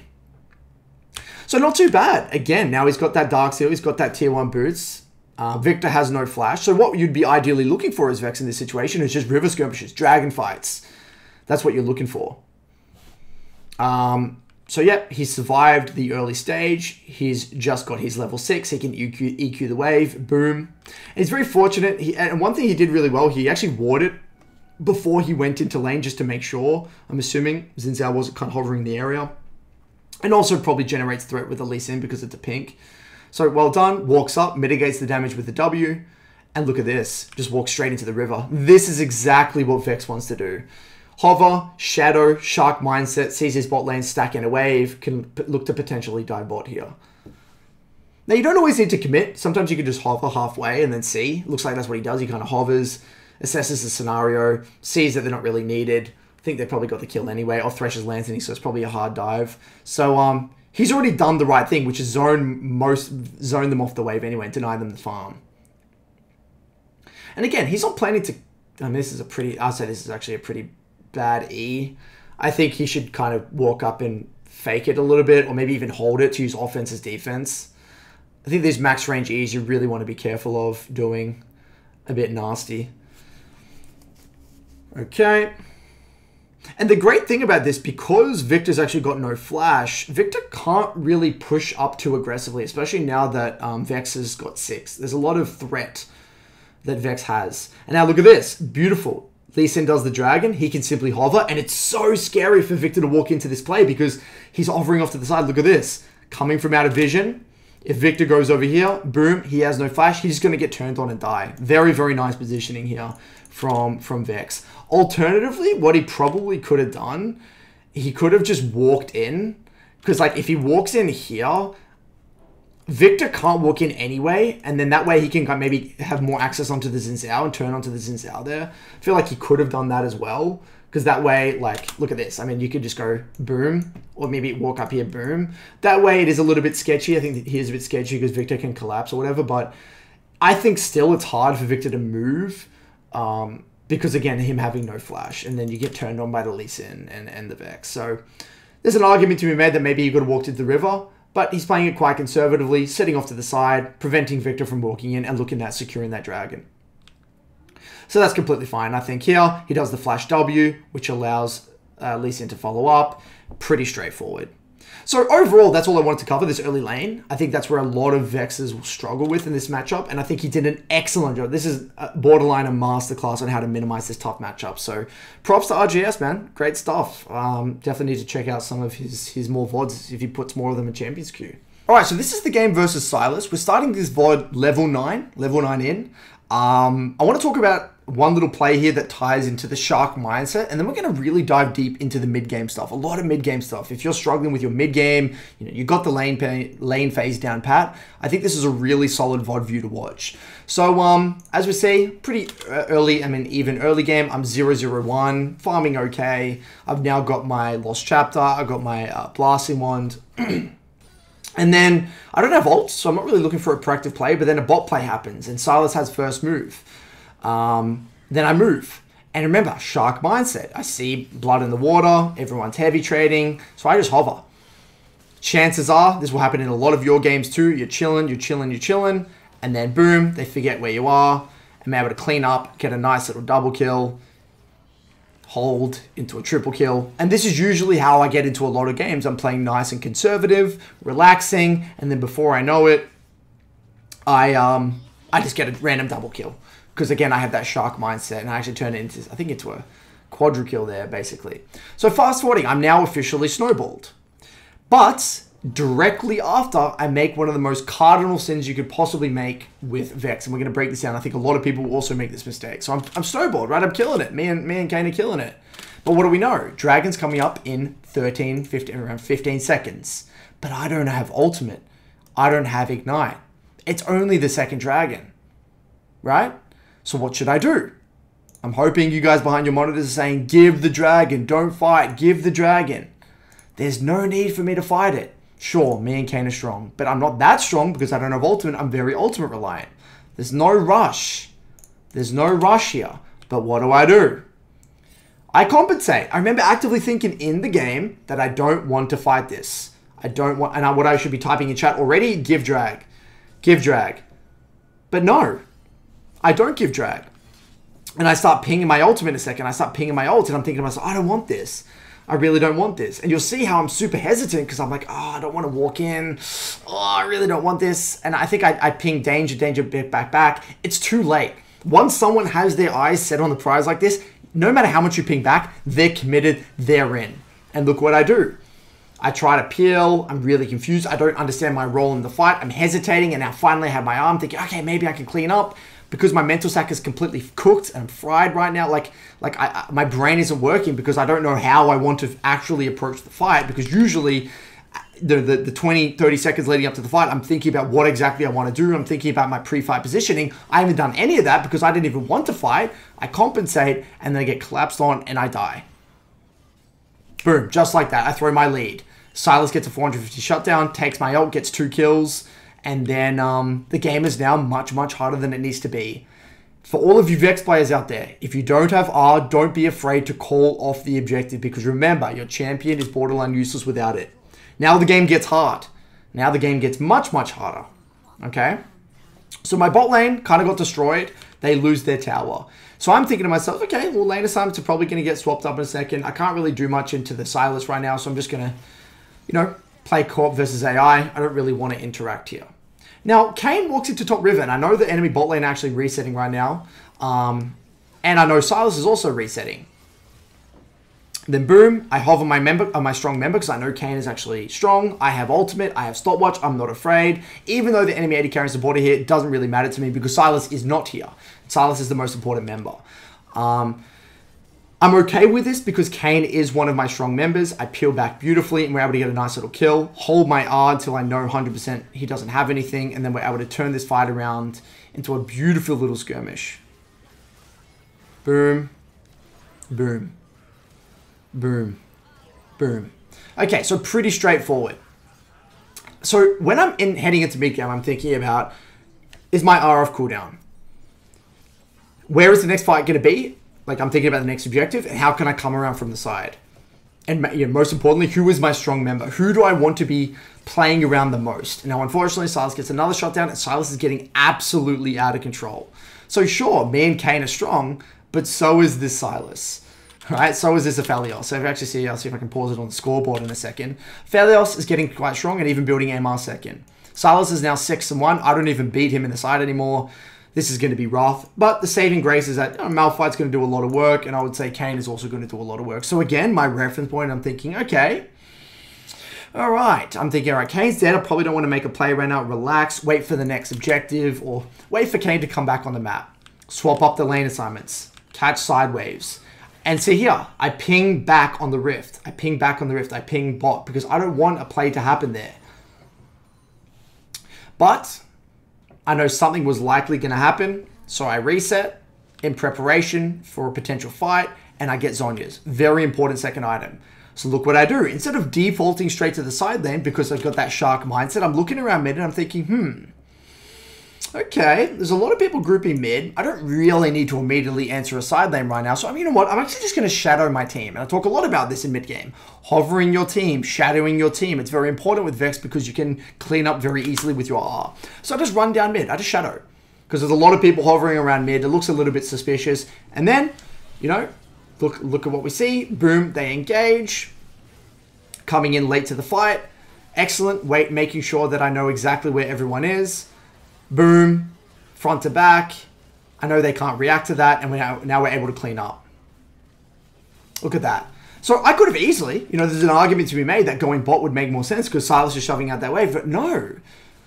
I've developed my, you know, my my smelling here. I know that something is likely up, and the sign here is that everyone's kind of grouping around mid. This this Xin Zhao is a bit of a, a psycho. You know, I, he, I know this guy. He's probably going to go in. Um, so I, I, I, called their bluff, and I knew that a fight was likely going to happen. And, and, and, worst case scenario, if it doesn't happen, I can always like well, once I'm here, I can always just go bot after. It's, it's no big deal. But hovering your team is largely going to pay dividends in a lot of your games. So play around with it, guys. So we're able to clean up. And then I go back to the side lane. Now, Dragon's about to come up, and I know this guy was recalling in this um, brush, so I ping it, Lux ults, and I'm able to kind of chill, use my W reactively to peel back. Beautiful. Zhonya's the E2. Excellent. Pretty straightforward. Excellent. Now, insta reset preparation for the dragon. I have, I'm timing the AD carry flash. Very important. When you're versing any mobile champion, you really want to time their flash because it changes directly the way fights are going to play out. I have ultimate. I don't have my Zhonya's though. I remember actively thinking as I'm coming out of base, do I have ultimate? Tick. Do I have Zhonya's? No. But I have Sums.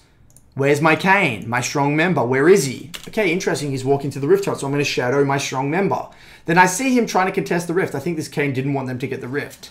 So I'm sitting off to the side. Now, I don't really want this fight.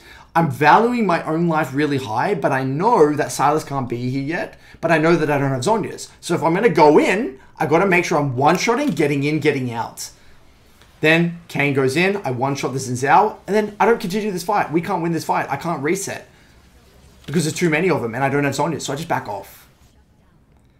Notice if I was not aware of my Zhonya's cooldown there, I probably would have stayed in the fight and I probably would have died and given given away my 10 stacks of Dark Seal. Same thing, constantly shadowing my strong members. Now, moving on, Sylas goes for a little bit of a pick in the jungle, whatever, this is largely noise. And then I go to the side lane again. In between the plays, I'm going to the side, trying to catch farm, shove it out, reset, then shadow. That's the, that's the pattern, isn't it? Shove aside, reset, shadow. Then go to a side, shove a wave, reset, shadow. Rinse, repeat over and over again. Orienting myself around the objectives, orienting myself around the win condition. Grab my blue buff, Kayn's looking mid. So then what do I do? I look mid as well. I'm shattering off to the side. There's no way, uh, my, I'd say this is somewhat multi-threat, not really. I'm kind of coming in from a similar angle, but I thought this guy's mental stack was probably very overwhelmed. I'm able to get a nice little R onto this guy, peel back quite nicely, flash back into my team. Not rushing my R2 here, because I don't, I don't really know who I can follow up on, right? So there's no point using my R if I can't follow up on anyone. If I can't actually continue to get my R off, just hold it, wait, be patient. They dive, I peel back with my fear, then I wait again, wait till someone's low, wait for my cooldown to come back up, re-engage, boom. It's all the same Vex fundamentals, isn't it? Trying to, trying to come in from the side. Going on the member that I know that I can actually kill and get the reset off of. Not casting my R2 when I know that I can't actively guarantee a kill. Peeling back when I don't have my abilities. Waiting until I know who I can kill, and then boom, re-engaging. Again, just classic just classic Vex fundamentals. There's nothing really sexy here. It's all the same boring things just done reliably. That's what makes a very good Vex player. Moving on. We ping for the Baron. We end up getting the Baron. Same thing. What do I do? I shadow my team. I shadow what, what, what I think is going to happen. Now, here, I thought that I could actually get the uh, the R because he used his clone thing, and I thought he was just going to run forward, but he he like goes the other way for some reason. So I missed that one, which is a bit of a blunder. So, man, I don't really regret using it. It looks like it's a pretty easy one. I don't really know. It's a weird movement from the Wukong, so whatever. Um, but I group up with my team. Ideally, I'd be sitting off to the side if I have R, but I don't have R, so I don't really feel that comfortable. But with Phelios is top, so we're just going to siege mid. And at this point, the game's kind of over. Um, all I want to do is play around the next objective making sure I'm always coming in from the side. If my team's kind of sitting off to one side, I'm going to be kind of coming in from the other angle. Kayn goes in. Notice how I don't use my R here though. A, he has mobility. B, he has Zhonya's. So I'm not using my R. Even when I have it available, I don't use it. I don't use it. Even when he doesn't have E, I still don't use it. I still don't use it. Waiting, waiting. Because I really cannot afford to use it. Boom, I know Xin Zhao has limited mobility. Then I go in, get a high value fear, AoE, and then we just rinse them. Really simple. So this looked like, back then, a pretty tough game, didn't it? Especially when Sylas cleaned up here. I mean, it was a close game here. It was 4 to 6, 0 0 1 blood in the water, snowball, boom, throw my lead, fed Sylas, bot lane gets annihilated. Doesn't look like a free win, does it? But through good Vex fundamentals, like I explained to you, you're going to find a lot of opportunistic plays. This is the way I think about Vex heading into mid game. So this VOD, this is going to be the full game review. I absolutely love this game because I think it encapsulates, like from start to finish, nearly every single Vex fundamental. But the main one that I haven't, the other ones didn't really cover, is playing around and identifying a win condition. This game, I knew that we weren't going to scale to win this game. We had to like play balls to the wall. We had to create a win con. We had to dive aside. We had to really snowball. If the game got stalled out, especially with a Lux stalling out the game and a Felios zone, I'm sure many of you right now are experiencing the Enchanter meta, it's not going to look good. And um, this game really, I think, encapsulates the strength of DMATs. It encapsulates the, the importance of playing really hardcore around a win condition and um, really playing around your teammates' locations. So let's dive in. Now, you know, there are many, and I think my, yeah, my team actually died level one. Um, they got double killed, which uh, wasn't optimal.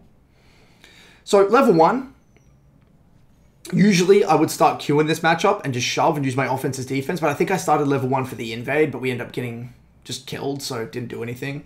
Um, my my hypothesis here was I'm going to use my offense as defense. I'm going to stand outside the wave, and notice how I'm walking back and forth trying to get into range to use a Q, so I can get like a, uh, a, a E auto attack there. End up getting double auto attack, but not proccing my Electro. I'm happy to heavy trade because she has Doran's and I have C-Pot. Now, I also know that the enemy jungle doesn't have much threat. It's a Mundo jungle, so I can posture up very aggressively. I'm trying to get my level 2 first. Now, I end up getting nailed by a few Qs, which is not optimal. And I know that I, I, just want to push the pace of the game. I don't want to receive ganks. I want at least to gank sides, and then so I can facilitate another win con. I don't want to get myself fed. I want someone else to be fed so that I can actually facilitate that win condition. Now, I thought I was in range for E to go for a max range EQ, knowing that I probably wasn't going to be able to use it for a while because I'd already shoved the wave in, but um, end up getting tethered and spaced by the Lux. Now, um, end up getting a nice little bit of vision here. I end up trying to steal the um, steal the Raptors. Doesn't work out too well.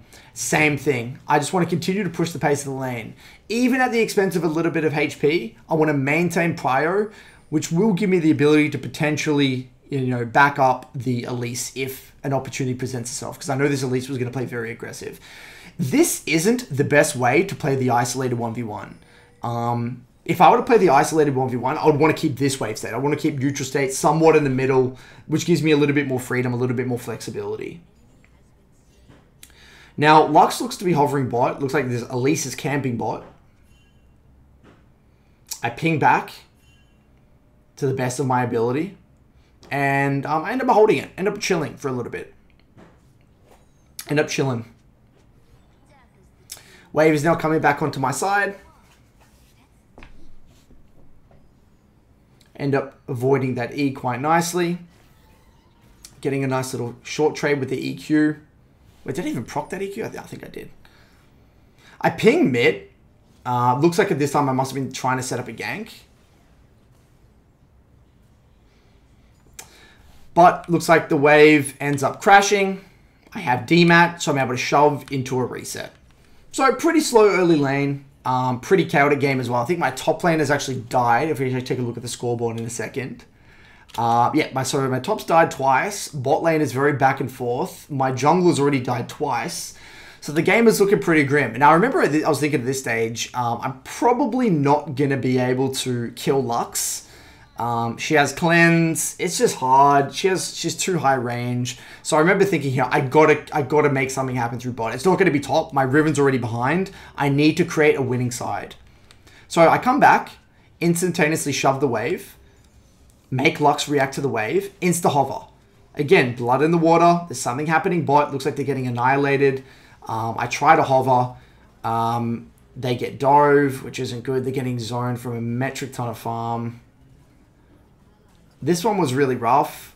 I tried to peel my AD carry a little bit. We end up getting a kill. Um, but Lux comes. But the, it's okay in the sense that it's good for me in the 1v1 mid because Lux ends up ditching a lot of farm. But my Akshan gets annihilated because Akshan misses so much farm from this. So I remember thinking, still, I know Riven isn't going to be the win con here. It has to be bot. I know it has to be bot. So luckily, Elise comes straight back bot, helps the Akshan get a little bit of farm. Now that my ultimate's about to come up, look what I do. Luckily, Lux overstays and dies, so I insta-shove. Demat the next cannon, shove, again, same thing. Hover, shove, hover, shove, hover, same side. Boom. Aphelios walks up, boom. I rush my second R, which is an absolute cardinal sin. Talk, coming back to one of the biggest mistakes. I do that there, unfortunately. Oh, no, I don't. That was my E. Sorry. That, I think it was, wasn't my Q. That was my Q. Um, so I end up getting the next one. Not too bad. Now I know definitively that my bot side is my win con. So my entire reference point, everything that I'm thinking about this game, it's all about not interacting with the Lux, trying to help my bot lane and, and, and facilitate this Elise ganking bot. My top died again and lost a lot of farm. I stay for a little bit longer here. I take a nice little short trade, a high value EQ. Looks like this Lux was looking at bot lane right now because they end up dying. I get end up getting nailed, but that's okay. Shove one more, reset, lost chapter. Boom. Same thing. Come back, demat, shove, EQ, not interact with the Lux, forcing Lux to alt the wave as well. Same thing. Ping on my way bot.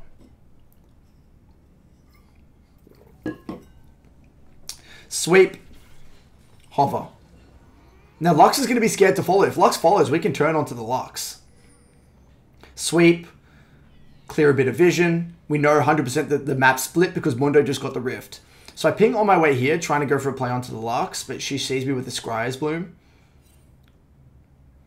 And I'm trying to make sure that they deny the farm. I really don't want this Aphelios and Sona to get the farm. So now we're zoning them just by hovering. So then it looks like they're well and truly zoned. So I go back mid, trying to balance farm with uh, helping my bot lane. So I try to clear the way from max range. Mundo try and chases me out. Now, chilling, bot lane ends up getting that double kill, which is excellent. Riven ends up killing Lux on the back end. Now the game is starting to become very clear to me. Wow, we've actually really turned around this bot lane. The hovers, the roams, it's really helped this bot lane. Still not going to be an easy game, but I, I mean, I, at least I know where to direct my attention. I'm like, okay, Lux I think is moving bot maybe. So what do I do? I move bot again.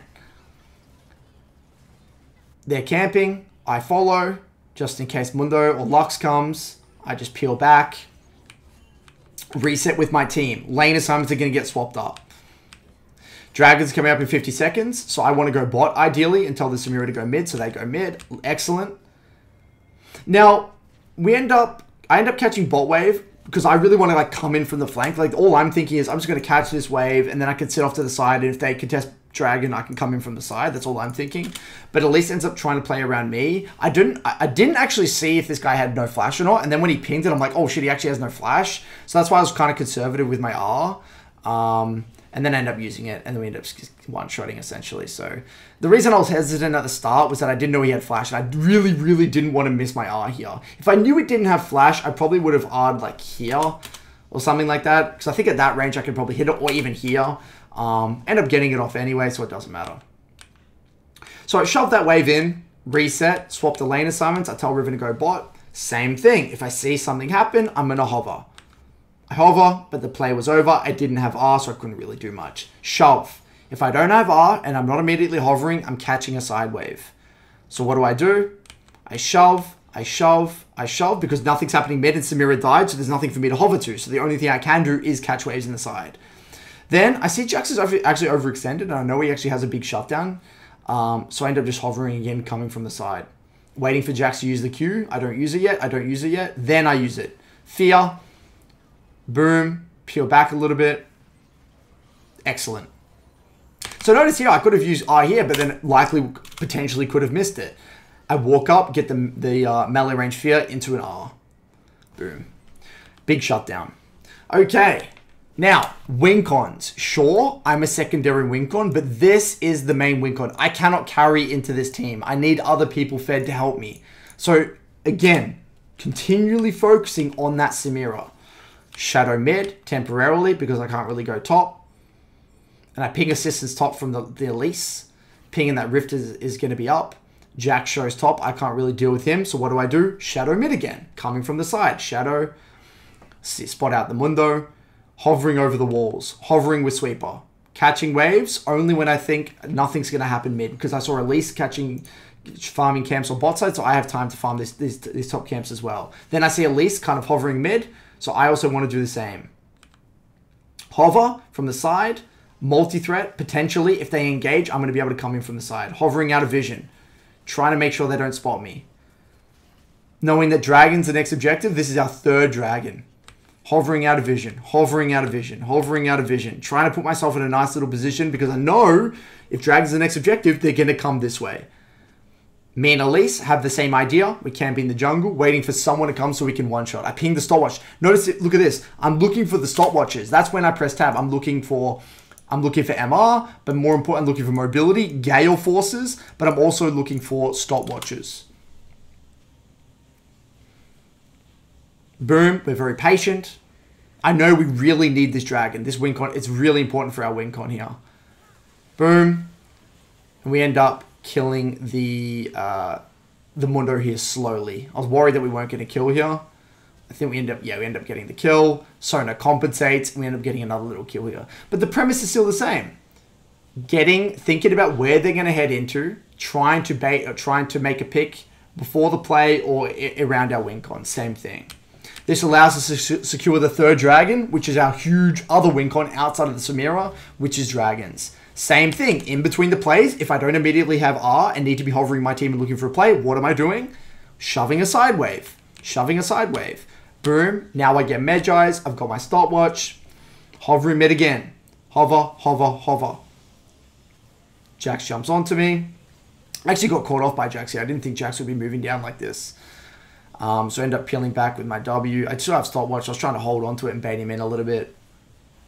Bait him in. Excellent. Okay, and that's 12 stacks of Mejai's. Same thing. I still have my ultimate available. I know nothing's happening right now because Samira was, I thought she was actually resetting. And then I can't hover mid again. Hover, hover, hover, peel, boom. Okay, pretty straightforward.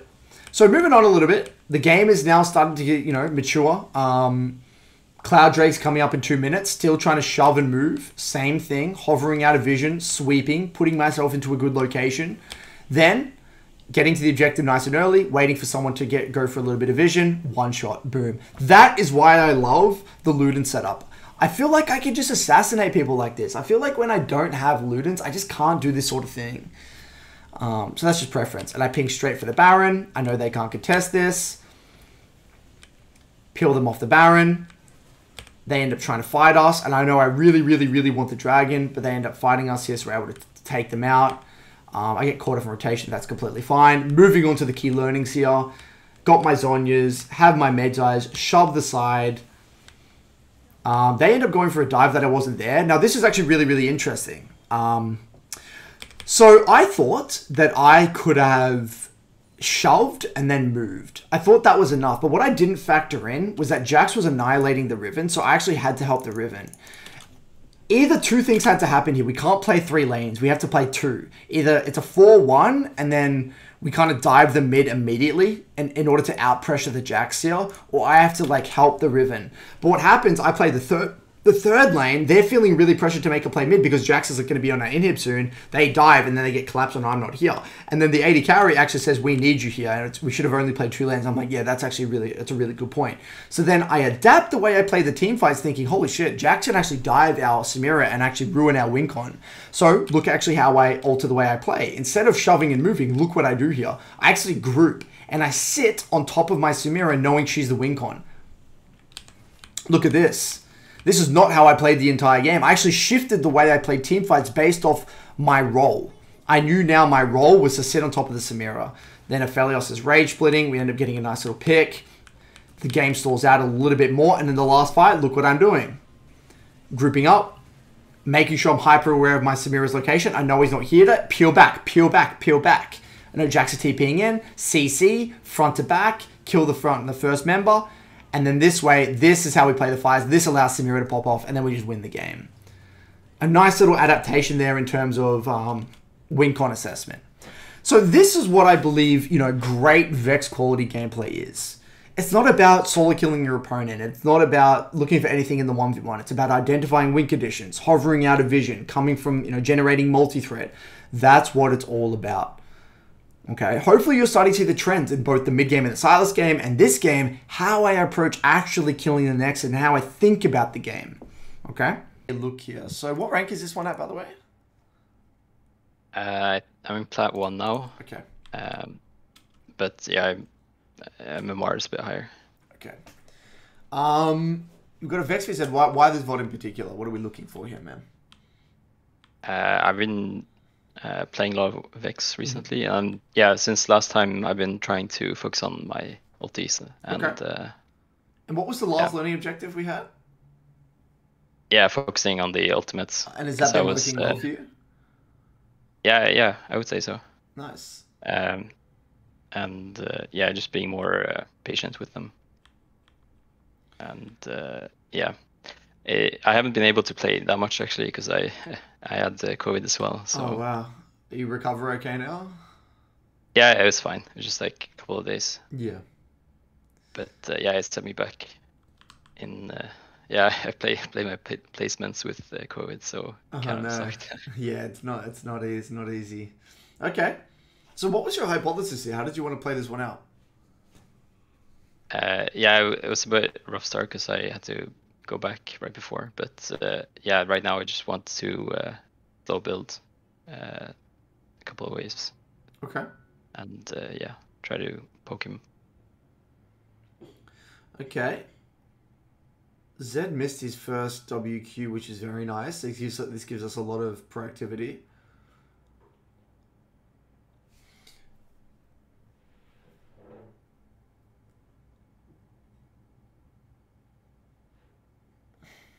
Not sure if I could have, uh, yeah, hmm. been more aggressive. One thing I, that you could have done here is that you could be, I think you could be positioned up behind this one here. Well, two reasons. One, he'd already used, he'd already used his Q. I mean, even here, I think you could be posted up more aggressive before he even Q'd here. Like, use the minions as defense. Even if you get clipped by a, a Q and you're behind a minion, it's not really going to do much damage. And he actually doesn't have his W because he just used it before. So I think there's a window here where you could be fishing a little bit more aggressively for an EQ. Yeah. See that? Sure. Yeah.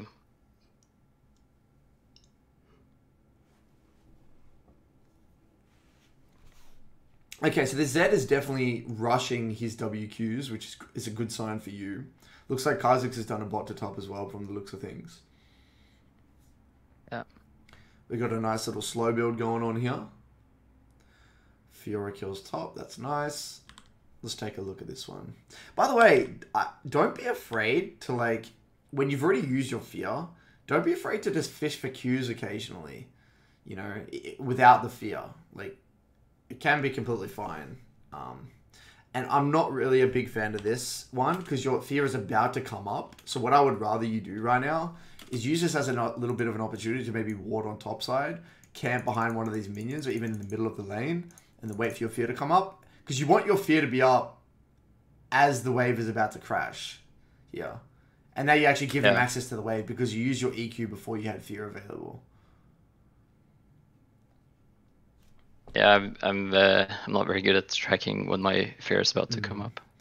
That's yeah. So that needs to be really that that, that should direct most of your decisions in the early lane. And, I'm not a big fan of this because, see, again, I mean, there's a, there's a lot of little things here, isn't there? I mean, use your EQ before your fear was up. You also didn't ward as the wave was slow building, such that when the wave crashed, look what you're doing. You're all the way back here. You should have already had a ward and you'd be walking up here fishing under tower.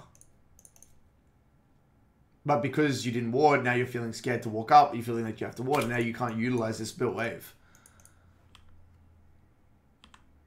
Yeah. So yeah, this guy is really, really uh, rushing his abilities. Now in this situation, take a look what he does. He, he actually goes WW, so he goes right next to you. So what do you, what should you do here? Uh, fear. Specifically, W. ability? Yeah. Yeah, W. W, right? Because then you, you're gonna proc your fear, you're gonna proc the passive, um, Yeah. and then you can just do a nice little short trade and then back off. Yeah, I guess I Nice wasn't really sidestep. expecting him to go in. Okay, so not too bad. I mean, your your your leaning was correct here. Um, I do like your, and I love this last, nice little side step there on the Kha'Zix W, and I like that you turn around for the passive passive auto as well. So nice, not too bad. Oh, very close. Oh, nice. Okay. The ignite, you get the ignite off. Well done. Yeah, Okay. barely. You're off to a pretty good start. So look, a few little minor details around ability usage. I feel like you could have used them a little bit more, your abilities more frequently. I think you could have timed your abilities better with your fear. Um, so not not not amazing, but not terrible. Okay. Now you're in a very good spot here. Um, Zed come back not with lethality yet, so you're in a good spot. Doesn't have Dirk. So do you remember what was going through your mind here? Um, I just want to thin this wave a little bit uh, and slow build again. So one thing, one thing here, man. Um, when I play Vex, I mean, sure, if I can slow build, I will. But a lot of the time, you know, I'm focusing a lot of my attention on simply, um, yeah, just on simply trying to trade onto them. Like, I mean, wave states are good, right? But I think that it, uh, Vex is even happy with neutral state. You know, Vex can work a lot with even neutral state. So I don't really have anything wrong with you slow building here, as long as you're posturing aggressively and fishing for fishing for trades. Um, here as well, because your fear is so close to being up, I wouldn't use EQ. What I would do is if you want to use an ability, I would probably fish for Q only. Like I'll just fish for a Q. Because I want this I want this E to be up as soon as my fear is available. Yeah, right. Does that make Makes sense? sense. Yeah, Because it has a pretty long cooldown. yeah.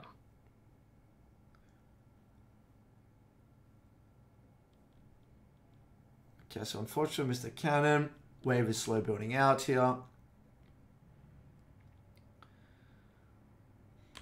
Now, one thing that I've noticed here as well, um, with, with with your Vex, so it looks like, okay, if you actually take a look at this,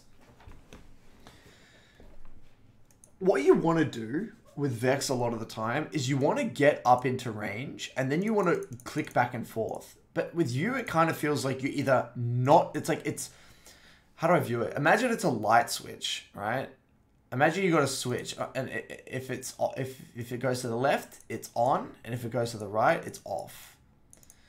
This is how your ability usage is. You're either definitely putting it on or, using it, or definitely turning it off, which represents not using it.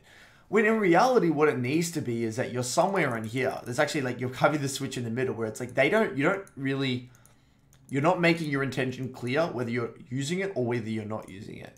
Here with your movements, notice how it's too obvious. The the first time you get in range, you're instantly using it, aren't you? See Yeah. that?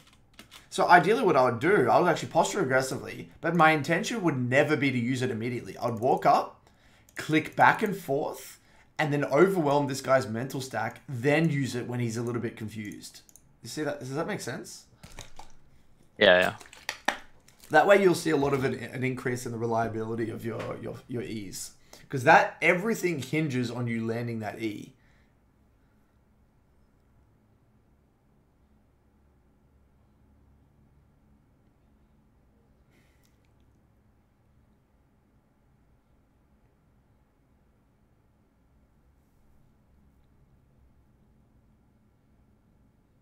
Okay. I was literally going to say this when I was watching this. I'm, you got to be a little bit scared here because Zed goes for a little bit of a trade onto you, and you don't have your fear available.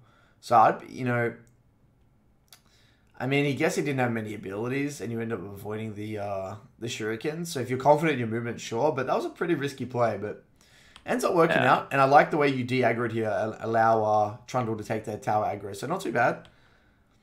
Okay. So, Would you say the ultimate was good? Yeah, I think it's fine. Purely because Trundle was there to tank for you, I think it's good. I mean, like, uh, was it like uh, for sure they would hit? Um, I think it would have been. Yeah, I think at that range, and given that it's kind of hard for Zed to move this way because he's kind of up against the minion, I think it's basically going to hit at that range. I don't. I think it's hard for him. I mean, if we're talking about optimization, it probably would have been better for you to use it while he was feared. Yeah, But but I think at that range, you could safely assume that you would hit it because you can't really dodge to the right anyway. So I don't mind it. all right. Um, one other thing I will mention here, um, in, in, see here, you can actually use your W to mitigate damage, right here. Like just W. Yeah, Like there's no need to hold on to it. I mean, unless you know, unless you're you're struggling for mana, but you're not really. That's not really the case here. all right. Okay, so moving on a little bit.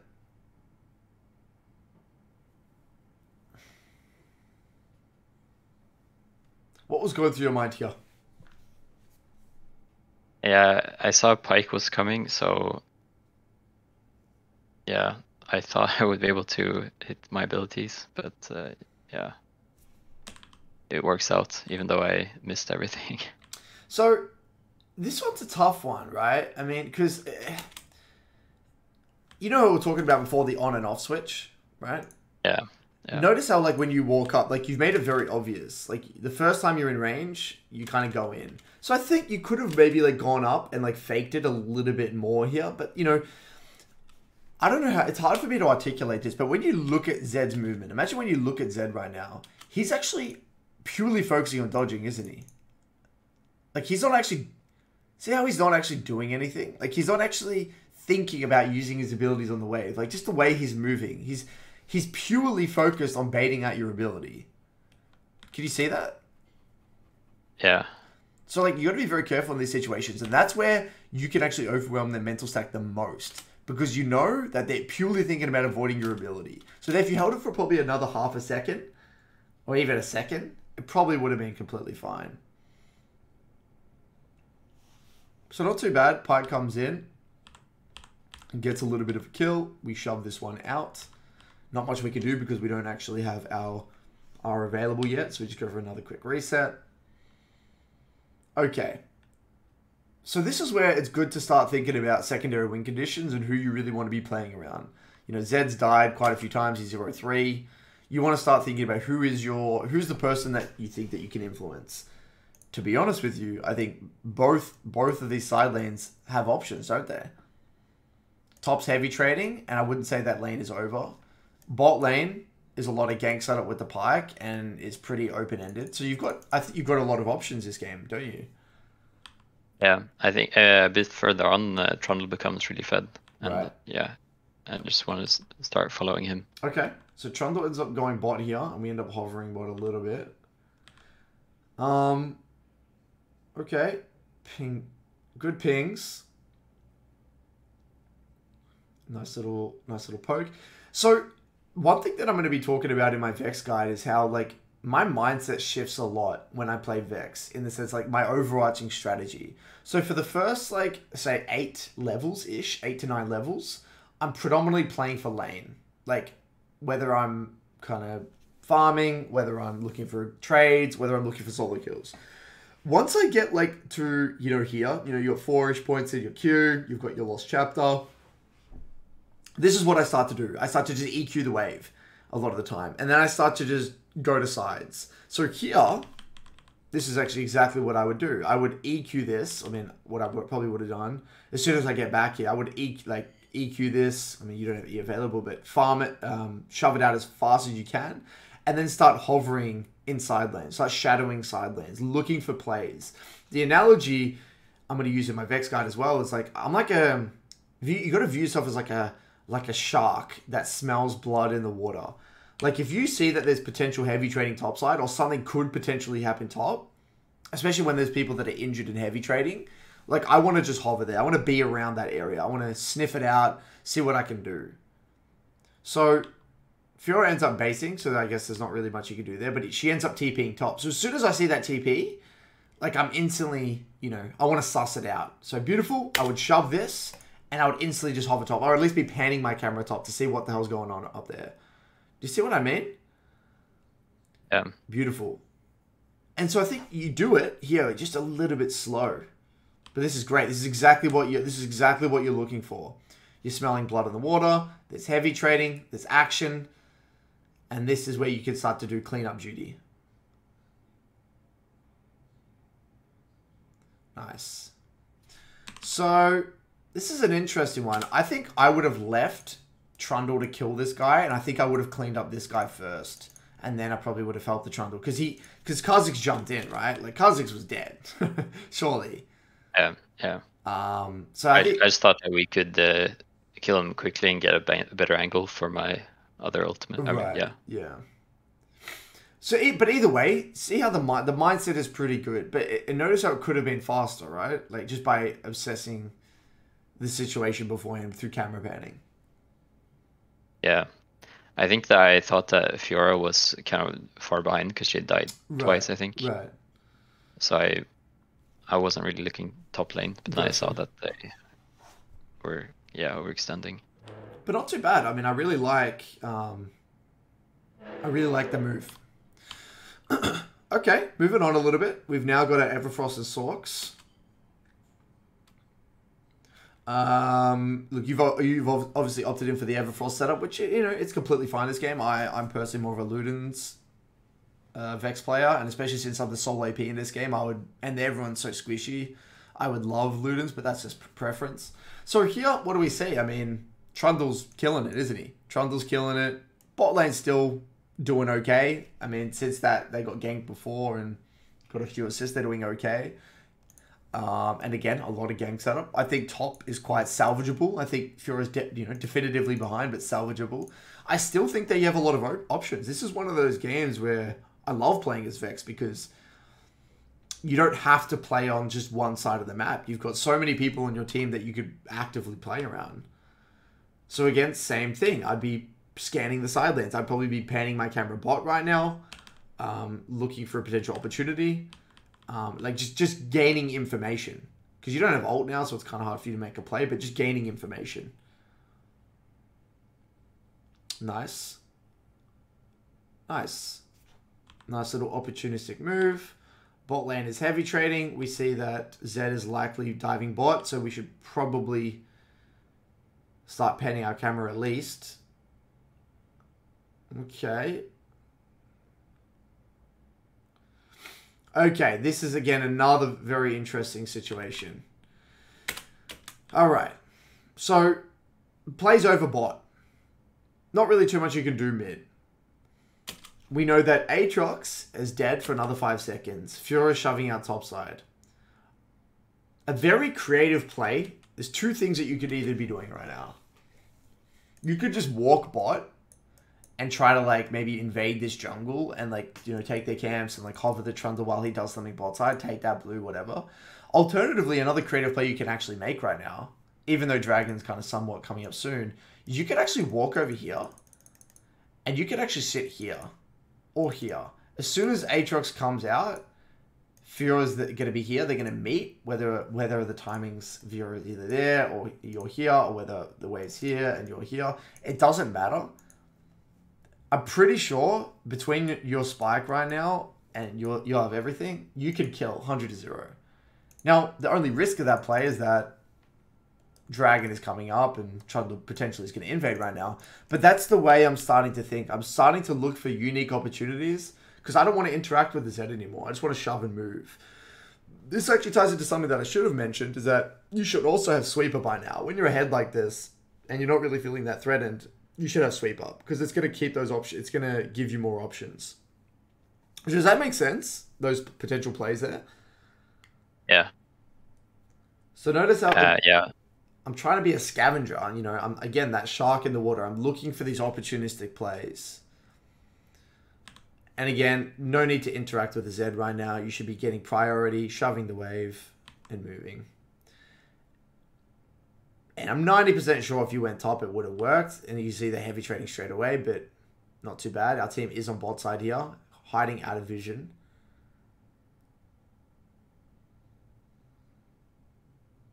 Hmm.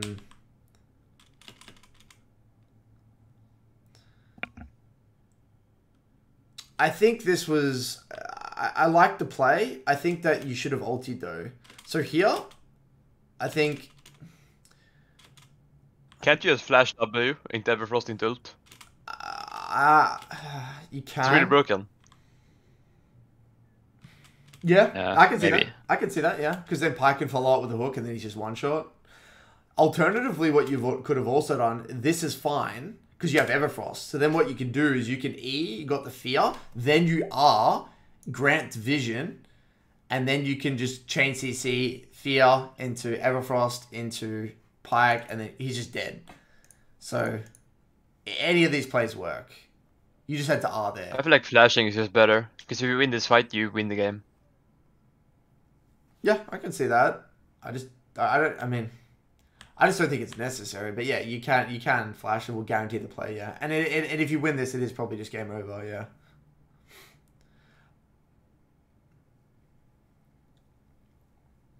So the things that were good about this is your positioning, right? You're behind the wall, you're out of vision, and they're coming in. You know, you're trying to bait them in.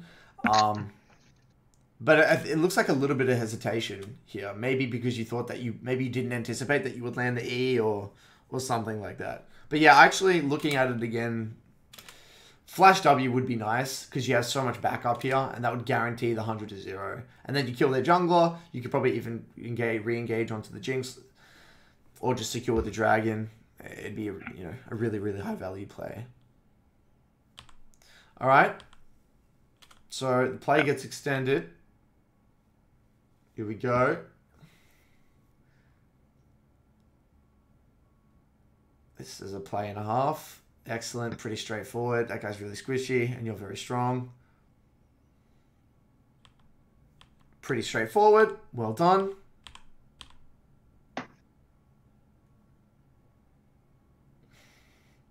Nice little reset angle. Excellent.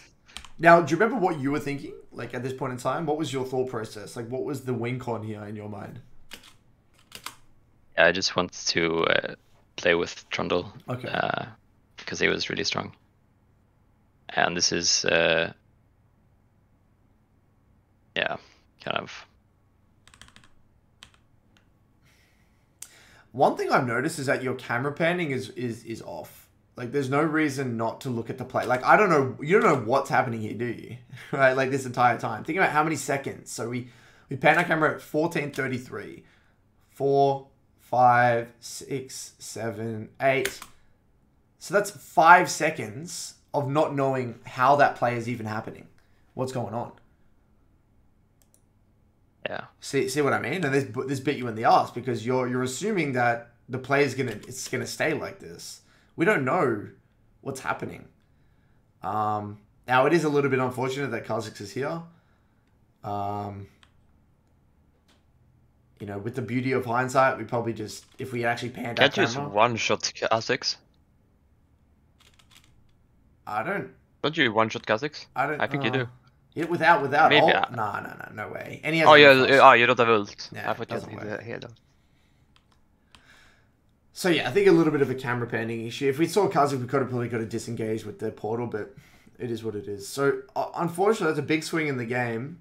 Your bot lane actually died. Trundle is going to be a big win con for you, but unfortunately, you know your bot lane died and your top lane struggling, so not going to be easy. So right now, still your focus is predominantly playing with the the Trundle, correct? Yeah. Okay. So let's take a look at this. Pyke comes in. Can't go for the one shot, unfortunately. Whoa. Okay.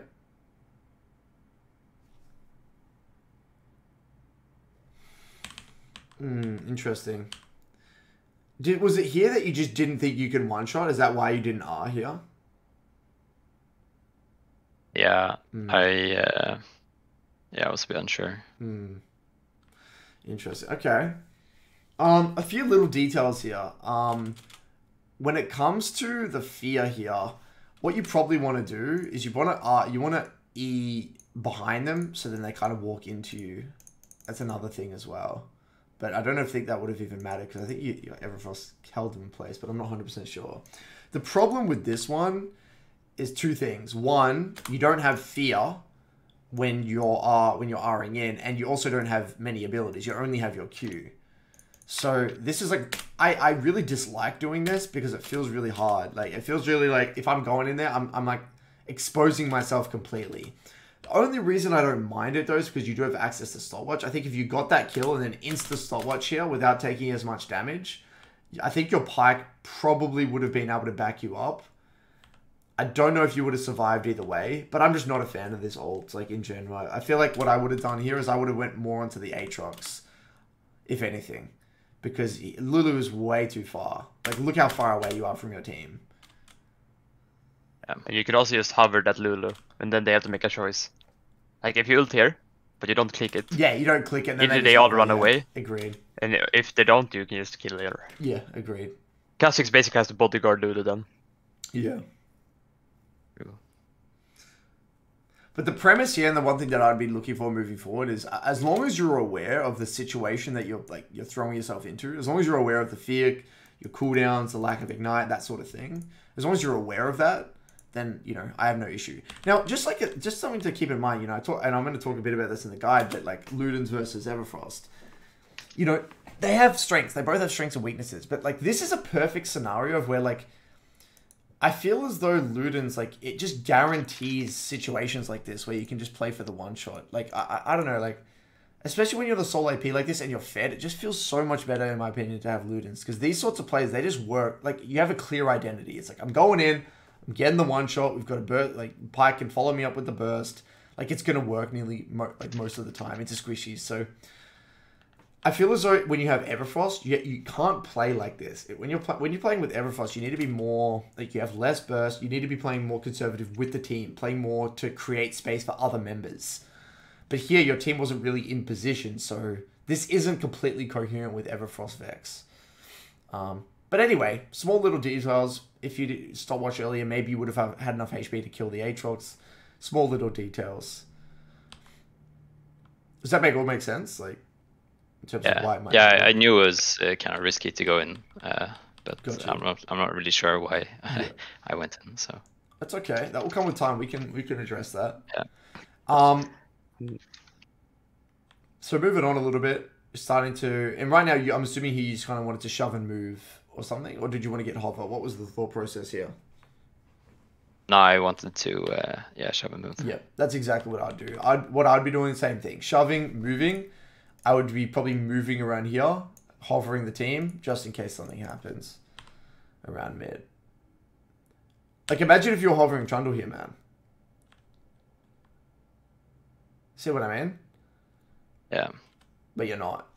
And then uh, you miss potential play. I mean, that could have been 100 to 0 potentially on that Kha'Zix. But we don't have R yet, so it is going to make things a bit tricky.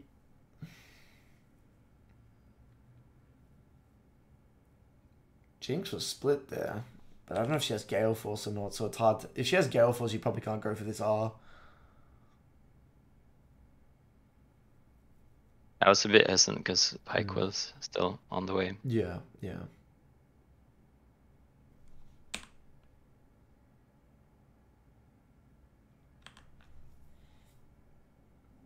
Okay, so we kind of get our fear baited out a little bit, but it looks like he just gets one tapped anyway. Not too bad. I like how you're positioning around the next objective here. This is nice. Getting to the objective nice and early, hovering around the edges, fishing for plays. Here we go. Nice. Nice, well done. Really, really nice. Okay. This should secure the next dragon theoretically. Um, good, good, good. Sit around the area. Excellent. We've now got Zhonya's, which is going to make your life much easier. And now it's just a matter of rinse repeat, isn't it? Shove side, get Fiora matching the, the Aatrox, and then look for picks. There's a few things you can do, right? In this situation, what I'd be doing is I'd be telling Fiora to go bot. Then at that point, I'd be going top. I'd be, I mean, and you got to, I mean, to make things easier for yourself, probably call it in advance. But in a perfect world, you'd be the one catching top wave here, shoving this one out, then doing either one or two things. You could then hover around mid, just kind of sitting around the areas, you know, using your sweeper. If you felt safe and they were hovering, your team was hovering you, maybe you could have swept over here. Or just fish around here, sweep, camp bushes, sweep, whatever, and then fishing for opportunistic plays. If you felt as though the enemy was really hard to pick, um, and you felt as though like there was just not really much happening. Another creative play that can be made in a situation like this is where you you actually shove it out and then you hover your Fiora and then you lane gank and kill the Aatrox with the Fiora. That's a very common play that I make with with Vex that is really effective. Um, but that would only be the that would only be valuable if you feel as though nothing can happen here, obviously, because making a play topside would probably benefit your team because you know she has the TP advantage um, something to keep in mind. But I think a, few, a key variable here that I forgot to actually mention is that it's Kraken Slayer, not Gale Force. When you see Gale Force AD carries, it actually changes the amount of threat that you impose big time. So it actually is a very important variable to consider. Does that all make sense? Yeah, yeah. But notice how that all ties into the same underlying reference point, doesn't it? It's like I am this, you know, I'm this shark. I want to look for opportunistic plays. And this just feels really bad because everyone knows where you are and you can't really beat the Aatrox. I mean, you can't really do too much in the in the 1v1 here. Everyone's coming to you rather than you hovering the enemy team. This just feels really awful. Um, so this is big. This is really, really big. This is not how Vex wants to navigate the mid game.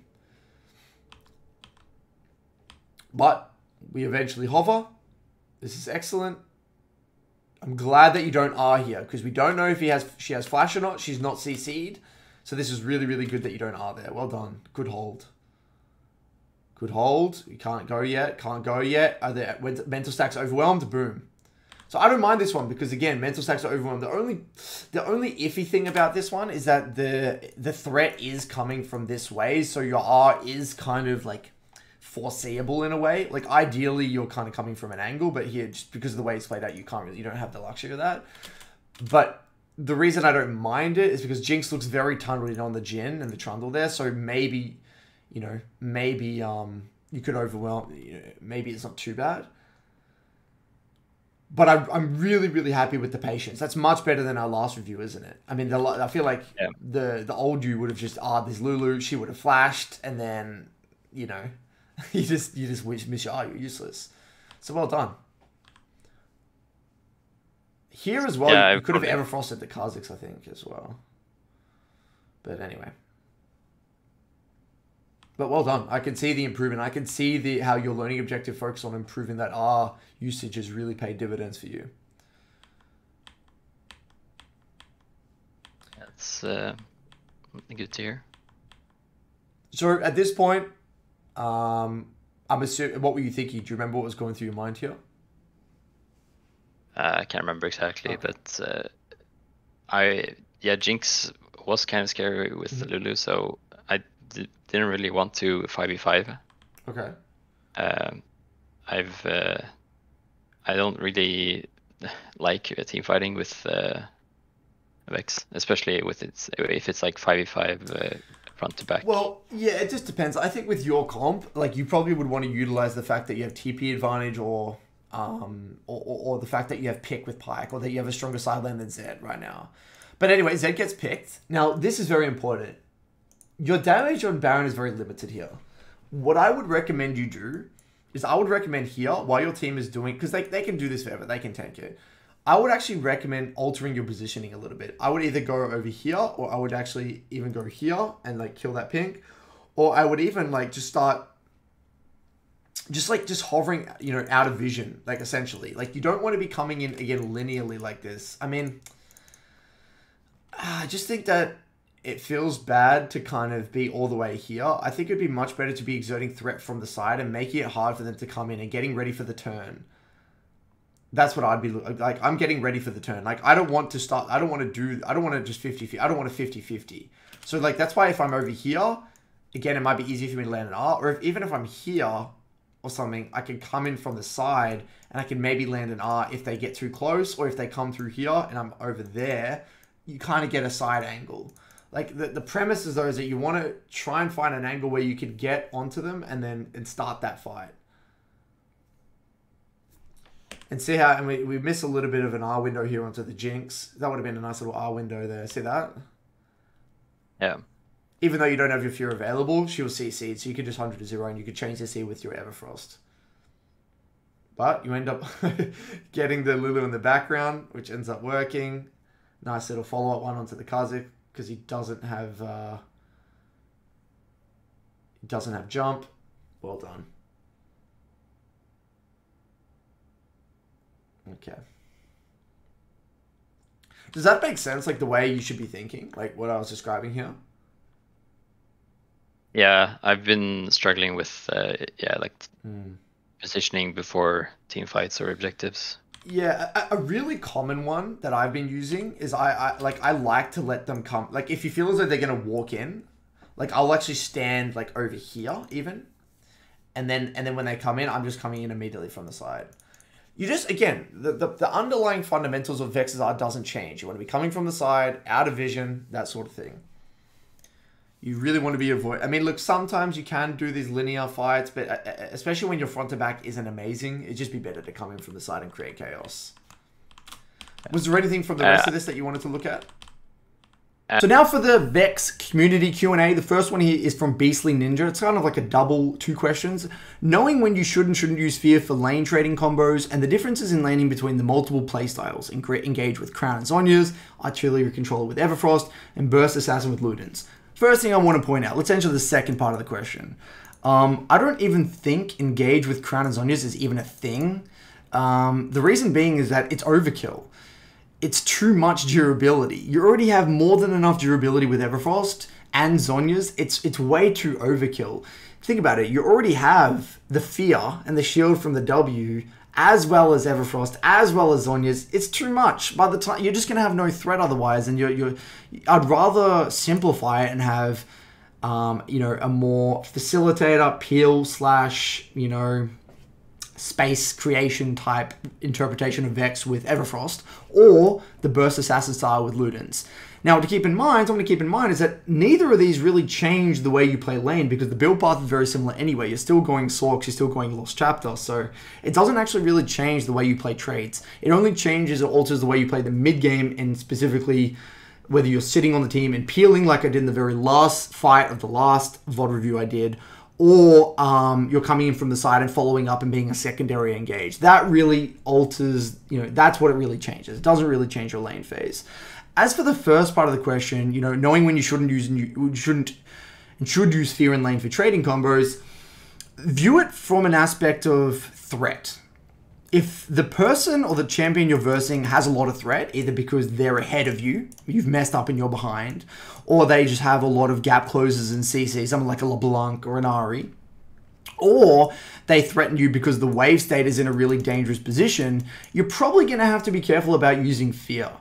Always tie it back to threat. Don't overcomplicate it. If they threaten you, you got to be careful. If they don't threaten you, you're versing a Corki and the waves in the middle, you can use fear however you want. It really depends on how much threat they have on you. If you're unsure and you don't really know if you can get away with it or not, use it and see what happens. You might use it and be like, oh, they can't kill me. I can just EQ and then back off and then I'm fine. Alternatively, you know, you might do it and then you're like, oh shit, my wave's actually in a bad spot now and now I'm in trouble and I can get chased down the long lane. Play around with it. Don't overcomplicate it. Threat, remember, is an is part of your intuition. Threat needs to come from the feel aspect of the game. Threat is not a like a prefrontal cortex logical thing you think about. Threat has to be eventually intuition and muscle memory. Has to be a feeling. So play around with it. It's, it's always tied to threat. Wave location, CC, how ahead you are. And if look, if you have a lot of wave clear, you're, you're very ahead and you have a lot of AP, then it doesn't even matter because you're just going to one-shot the wave anyway. So something to keep in mind. Hopefully that answers your question. Next one from Dan Naylor. When you press R onto an enemy, what's the best combination of inputs? Sometimes I go in with W first, then E, then Q, but if the opponent got behind me, I'll W. I'll sometimes miss a spell because I get feared in a direction that isn't the one I headed. Just wondering if it's better to immediately take a step back after the W first or something. Yeah, so I would say 95% of the time you're going to be doing R into W. The reason being is that you want to get your fear down ASAP so they don't flash away from you. If you don't immediately input with W and you don't have your fear ready, what's going to happen is that they're going to flash and then you're not going to be in range of W or they're going to flash away and then your W is going to push them the other direction or you're going to try and E and they're going to flash that. It's going to be a disaster. So nearly every single time you're going to go R into W with your fear already primed. Um, it doesn't really i mean I, I, don't really know what you mean exactly if they get behind you. Um i think i don't understand how you can miss a spell because you're, you're never you're always only going to be inputting the spell after you know which way they move anyway. So this maybe says to me that you're buffering your abilities too fast like you're just you're just spamming your keys. Rweq instantaneously. You don't need to do that. Just relax. Rw wait a split second, actually see which way they're going to get feared, then EQ. Um, the fear isn't very short. You have time to input the EQ, so don't don't stress too much. It seems to me maybe you're you're rushing your combos a little bit too much. Um, be quick. Uh, uh, one of my favorite quotes I got from I think it's from um, from John Wooden. The uh, he was the the basketball coach NCAA. He um he says be quick but don't hurry. That's what I would use. Be quick but don't hurry. That's a nice little mindset there. Uh, Muhammad um, what's her learning curve like? What similar champs can you springboard from her if you've learnt them? What's the solo queue journey like with her? Is she one trickable? Good question. Um, I would say her learning curve is very smooth. She's probably one of the easiest champs there to learn because it's a very simple kit. Hopefully, I've made her reference points in the game very clear with this guide. Her spikes are very obvious. You know exactly what you need to be doing in the game. She's very ultimate reliant. So, like, you, it's very easy to make decisions that are coherent with her identity comparatively to something like a Yone. I would say if you're good at Vex, you'd be good at other more um, calculated all-in champions. I would say there's there's probably overlap between LeBlanc and Vex. There's probably overlap between Sylas and Vex. Um, what else? Maybe even Ahri and Vex. A lot of these like more battle mage type slash kind of assassin type champions flow on from her quite nicely. Um, alternatively, I think a lot of the fundamentals you learn with Vex probably also follow on to like a TF, probably a Galio, and even more traditional control mages like a Viktor and things like that. I think you would probably also find the skill set flows on. Um, what's the queue journey like with her? I don't really know how to answer that question. I think um, it's hopefully, I mean, I don't. I think it's too general of a question. I, I think I've I answered that in how to learn Vex slide. Hopefully, that that that slide answers that one. And is she one trickable?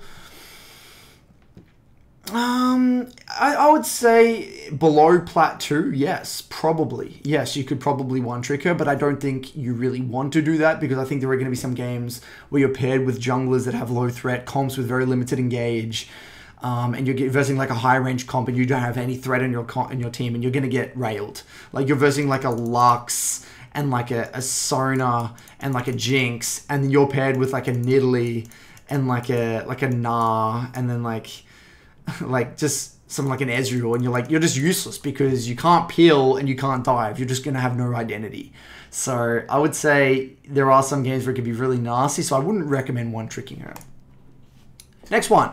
Nat, I noticed while playing Vex and solo queue, you have to keep track of your fear passive. I get ganked very easily as a wasted on the wave or trading. Is there a good way to survive a gank without the fear, or is there a strategy to make sure you have your passive ready? Same thing here. I don't really, sorry, I don't know how to pronounce your name, but holding fear versus using fear would be great to see.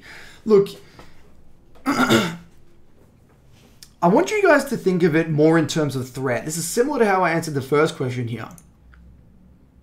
How much threat is getting imposed onto you? Whether it's via the enemy jungler, whether it's via the laner that you're versing. You know, if you're versing a LeBlanc and a Rek'Sai, you're going to have to be very careful and conservative with the way you use your fear. Right? If you use your fear in the wave and you don't have appropriate vision down and your wave's cooked, then you're going to be in trouble. Just view it very intuitively, very via common sense. But if you're versing a low threat mid laner and a low threat jungler, you can use whatever you want. But yes, if your wave is in a bad spot and you don't have vision down, you you got to either ask your jungler to help.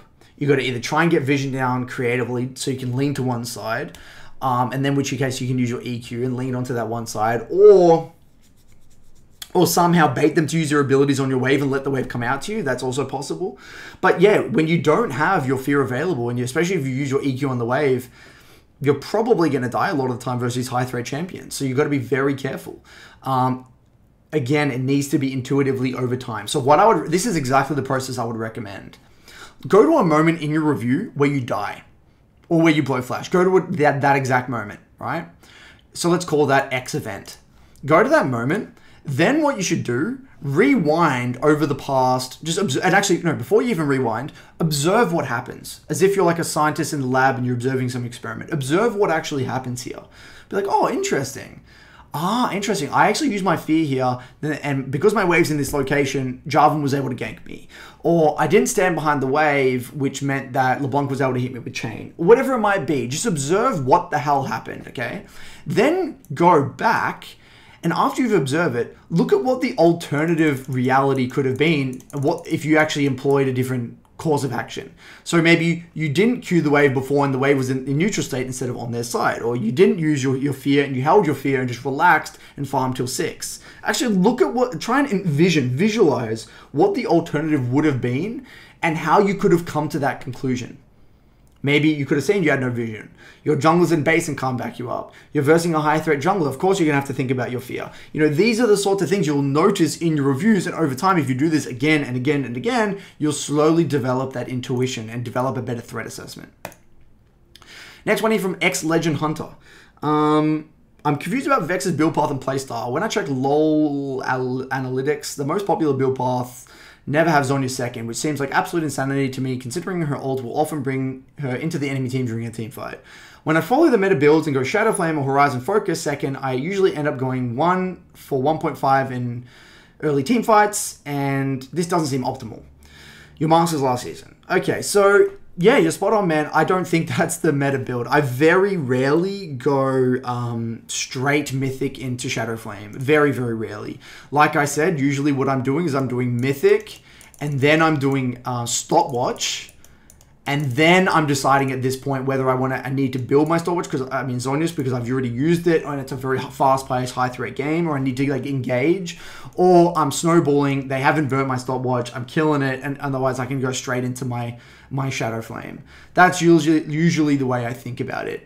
Don't blindly follow these builds. A lot of these people don't even know what the hell they're doing. So um, sheep follow sheep. So yeah, hopefully this kind of clarifies. And the way I spoke about the build path, hopefully that really clarifies. And don't build Horizon Focus. I mean, look, if you like it, you like it, but I don't know, for me, it just feels really underwhelming. Next one from Nilo K. I've played over 70 Vex games at the moment. I have a negative win rate, so I have a couple of questions. How do you play Vex when you're ahead but the rest of your team is behind? Champ feels quite useless. Yep, spot on. I can get some poke and some ults which may result in one kill, but it isn't enough. Spot on. What I would recommend is watch that Vex versus Lux game where I broke down the importance of creating and facilitating a secondary win condition. Vex isn't a 1v9 carry. You can't carry the game by yourself. You need other people fed on your team. You need to facilitate other even or fed members on your team. Okay? Very, very important. So if you're ahead and your rest of your team is behind, that's your fault you haven't looked. I'm sure there's a window either through the shark mindset or just through overall understanding volatility of side lanes or looking who can potentially be a win con for you to, rather than using your R to get ahead in lane, using your R somewhere else to get someone else ahead and into the game. Something that you really need to consider moving forward. Next one, champion identity. Do you think Vex should be splitting when ahead or trying to grouping? You do it ideally a combination of both. Catching those sideways and then hovering your team. And if a fight is going to break out right now, you need to be automatically hovering your team straight away, even at the sacrifice of side lane farm. Again, watch those VOD reviews that I did at the end of the guide. Those will really clarify that for you. How do you change your playstyle when you don't have your ultimate up? Yeah, so if when I don't have my ultimate up, I'm generally just catching sideways, or what I'll do is I'll just sit on top of my team, sit on top of my carries if I don't have time to catch a side wave because yeah, you're you're right. Most of Vex's damage is tied to her ultimate. It is quite miserable when you don't have that R cooldown up. Um, next one from Vex Arian, cool little name there. Um, what are what are her toughest matchups and how to play into these tough matchups? That's why I included the Vex versus Viktor VOD. Viktor is one of Vex's hardest matchups if the Viktor plays well, um, and it's all about farming. It's all about farming. It's all about matching the wave clear, keeping the wave somewhat neutral state, trading your HP for the wave, probably even taking TP and then TPing back to lane, like exactly like um, what's his name again? Something FS um, that that Viktor VOD that I reviewed before. That is a really great example of how to play those tough matchups. Focus on your farming. Once you get six, you're going to be able to exert a little bit of pressure, hover in between the waves. That's where DMAT can also come into play. Experiment with DMAT in some of those matchups can be quite nice. Next one from Isaac. What advantages does she offer compared to other mages? The main one, Isaac, is that she can follow up, she can complement aggressive engager into junglers better than any other mage.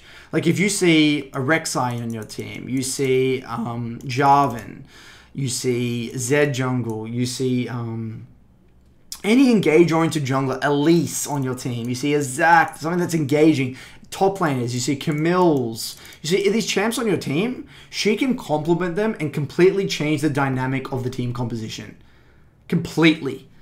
If you see engage, if you see a bunch of engage, if I see two or three of these champs on one team, like a Leona plus a Jarvan plus a Camille, and doesn't even matter what your mid matchup is at this point. You can pick Vex into anything. Anything. It doesn't even matter. Because no matter what happens, when it gets to mid game and you have your level 6, the enemy won't be able to play the game because there's too much multi-threat. As long as you're positioning appropriately, they can't play the game. I would say this is the biggest thing she, she, she offers comparatively to other. Another advantage, though, is obviously she can neutralize a lot of tough matchups like LeBlanc, and a lot of other majors struggle into LeBlanc, especially in 2v2s. Vex can minimize or even win the 1v1 very effectively. So hopefully this, um, you know, helps you out, guys. I'd love to hear how this Vex works for you. Um, a lot of stuff here, a lot of information. Probably not worth watching in one hit. Probably need to space it out. Hope you enjoyed it. Otherwise, if you're interested in coaching, sign up to the Mid Lane Academy waitlist in the description. Otherwise, have a great one, guys.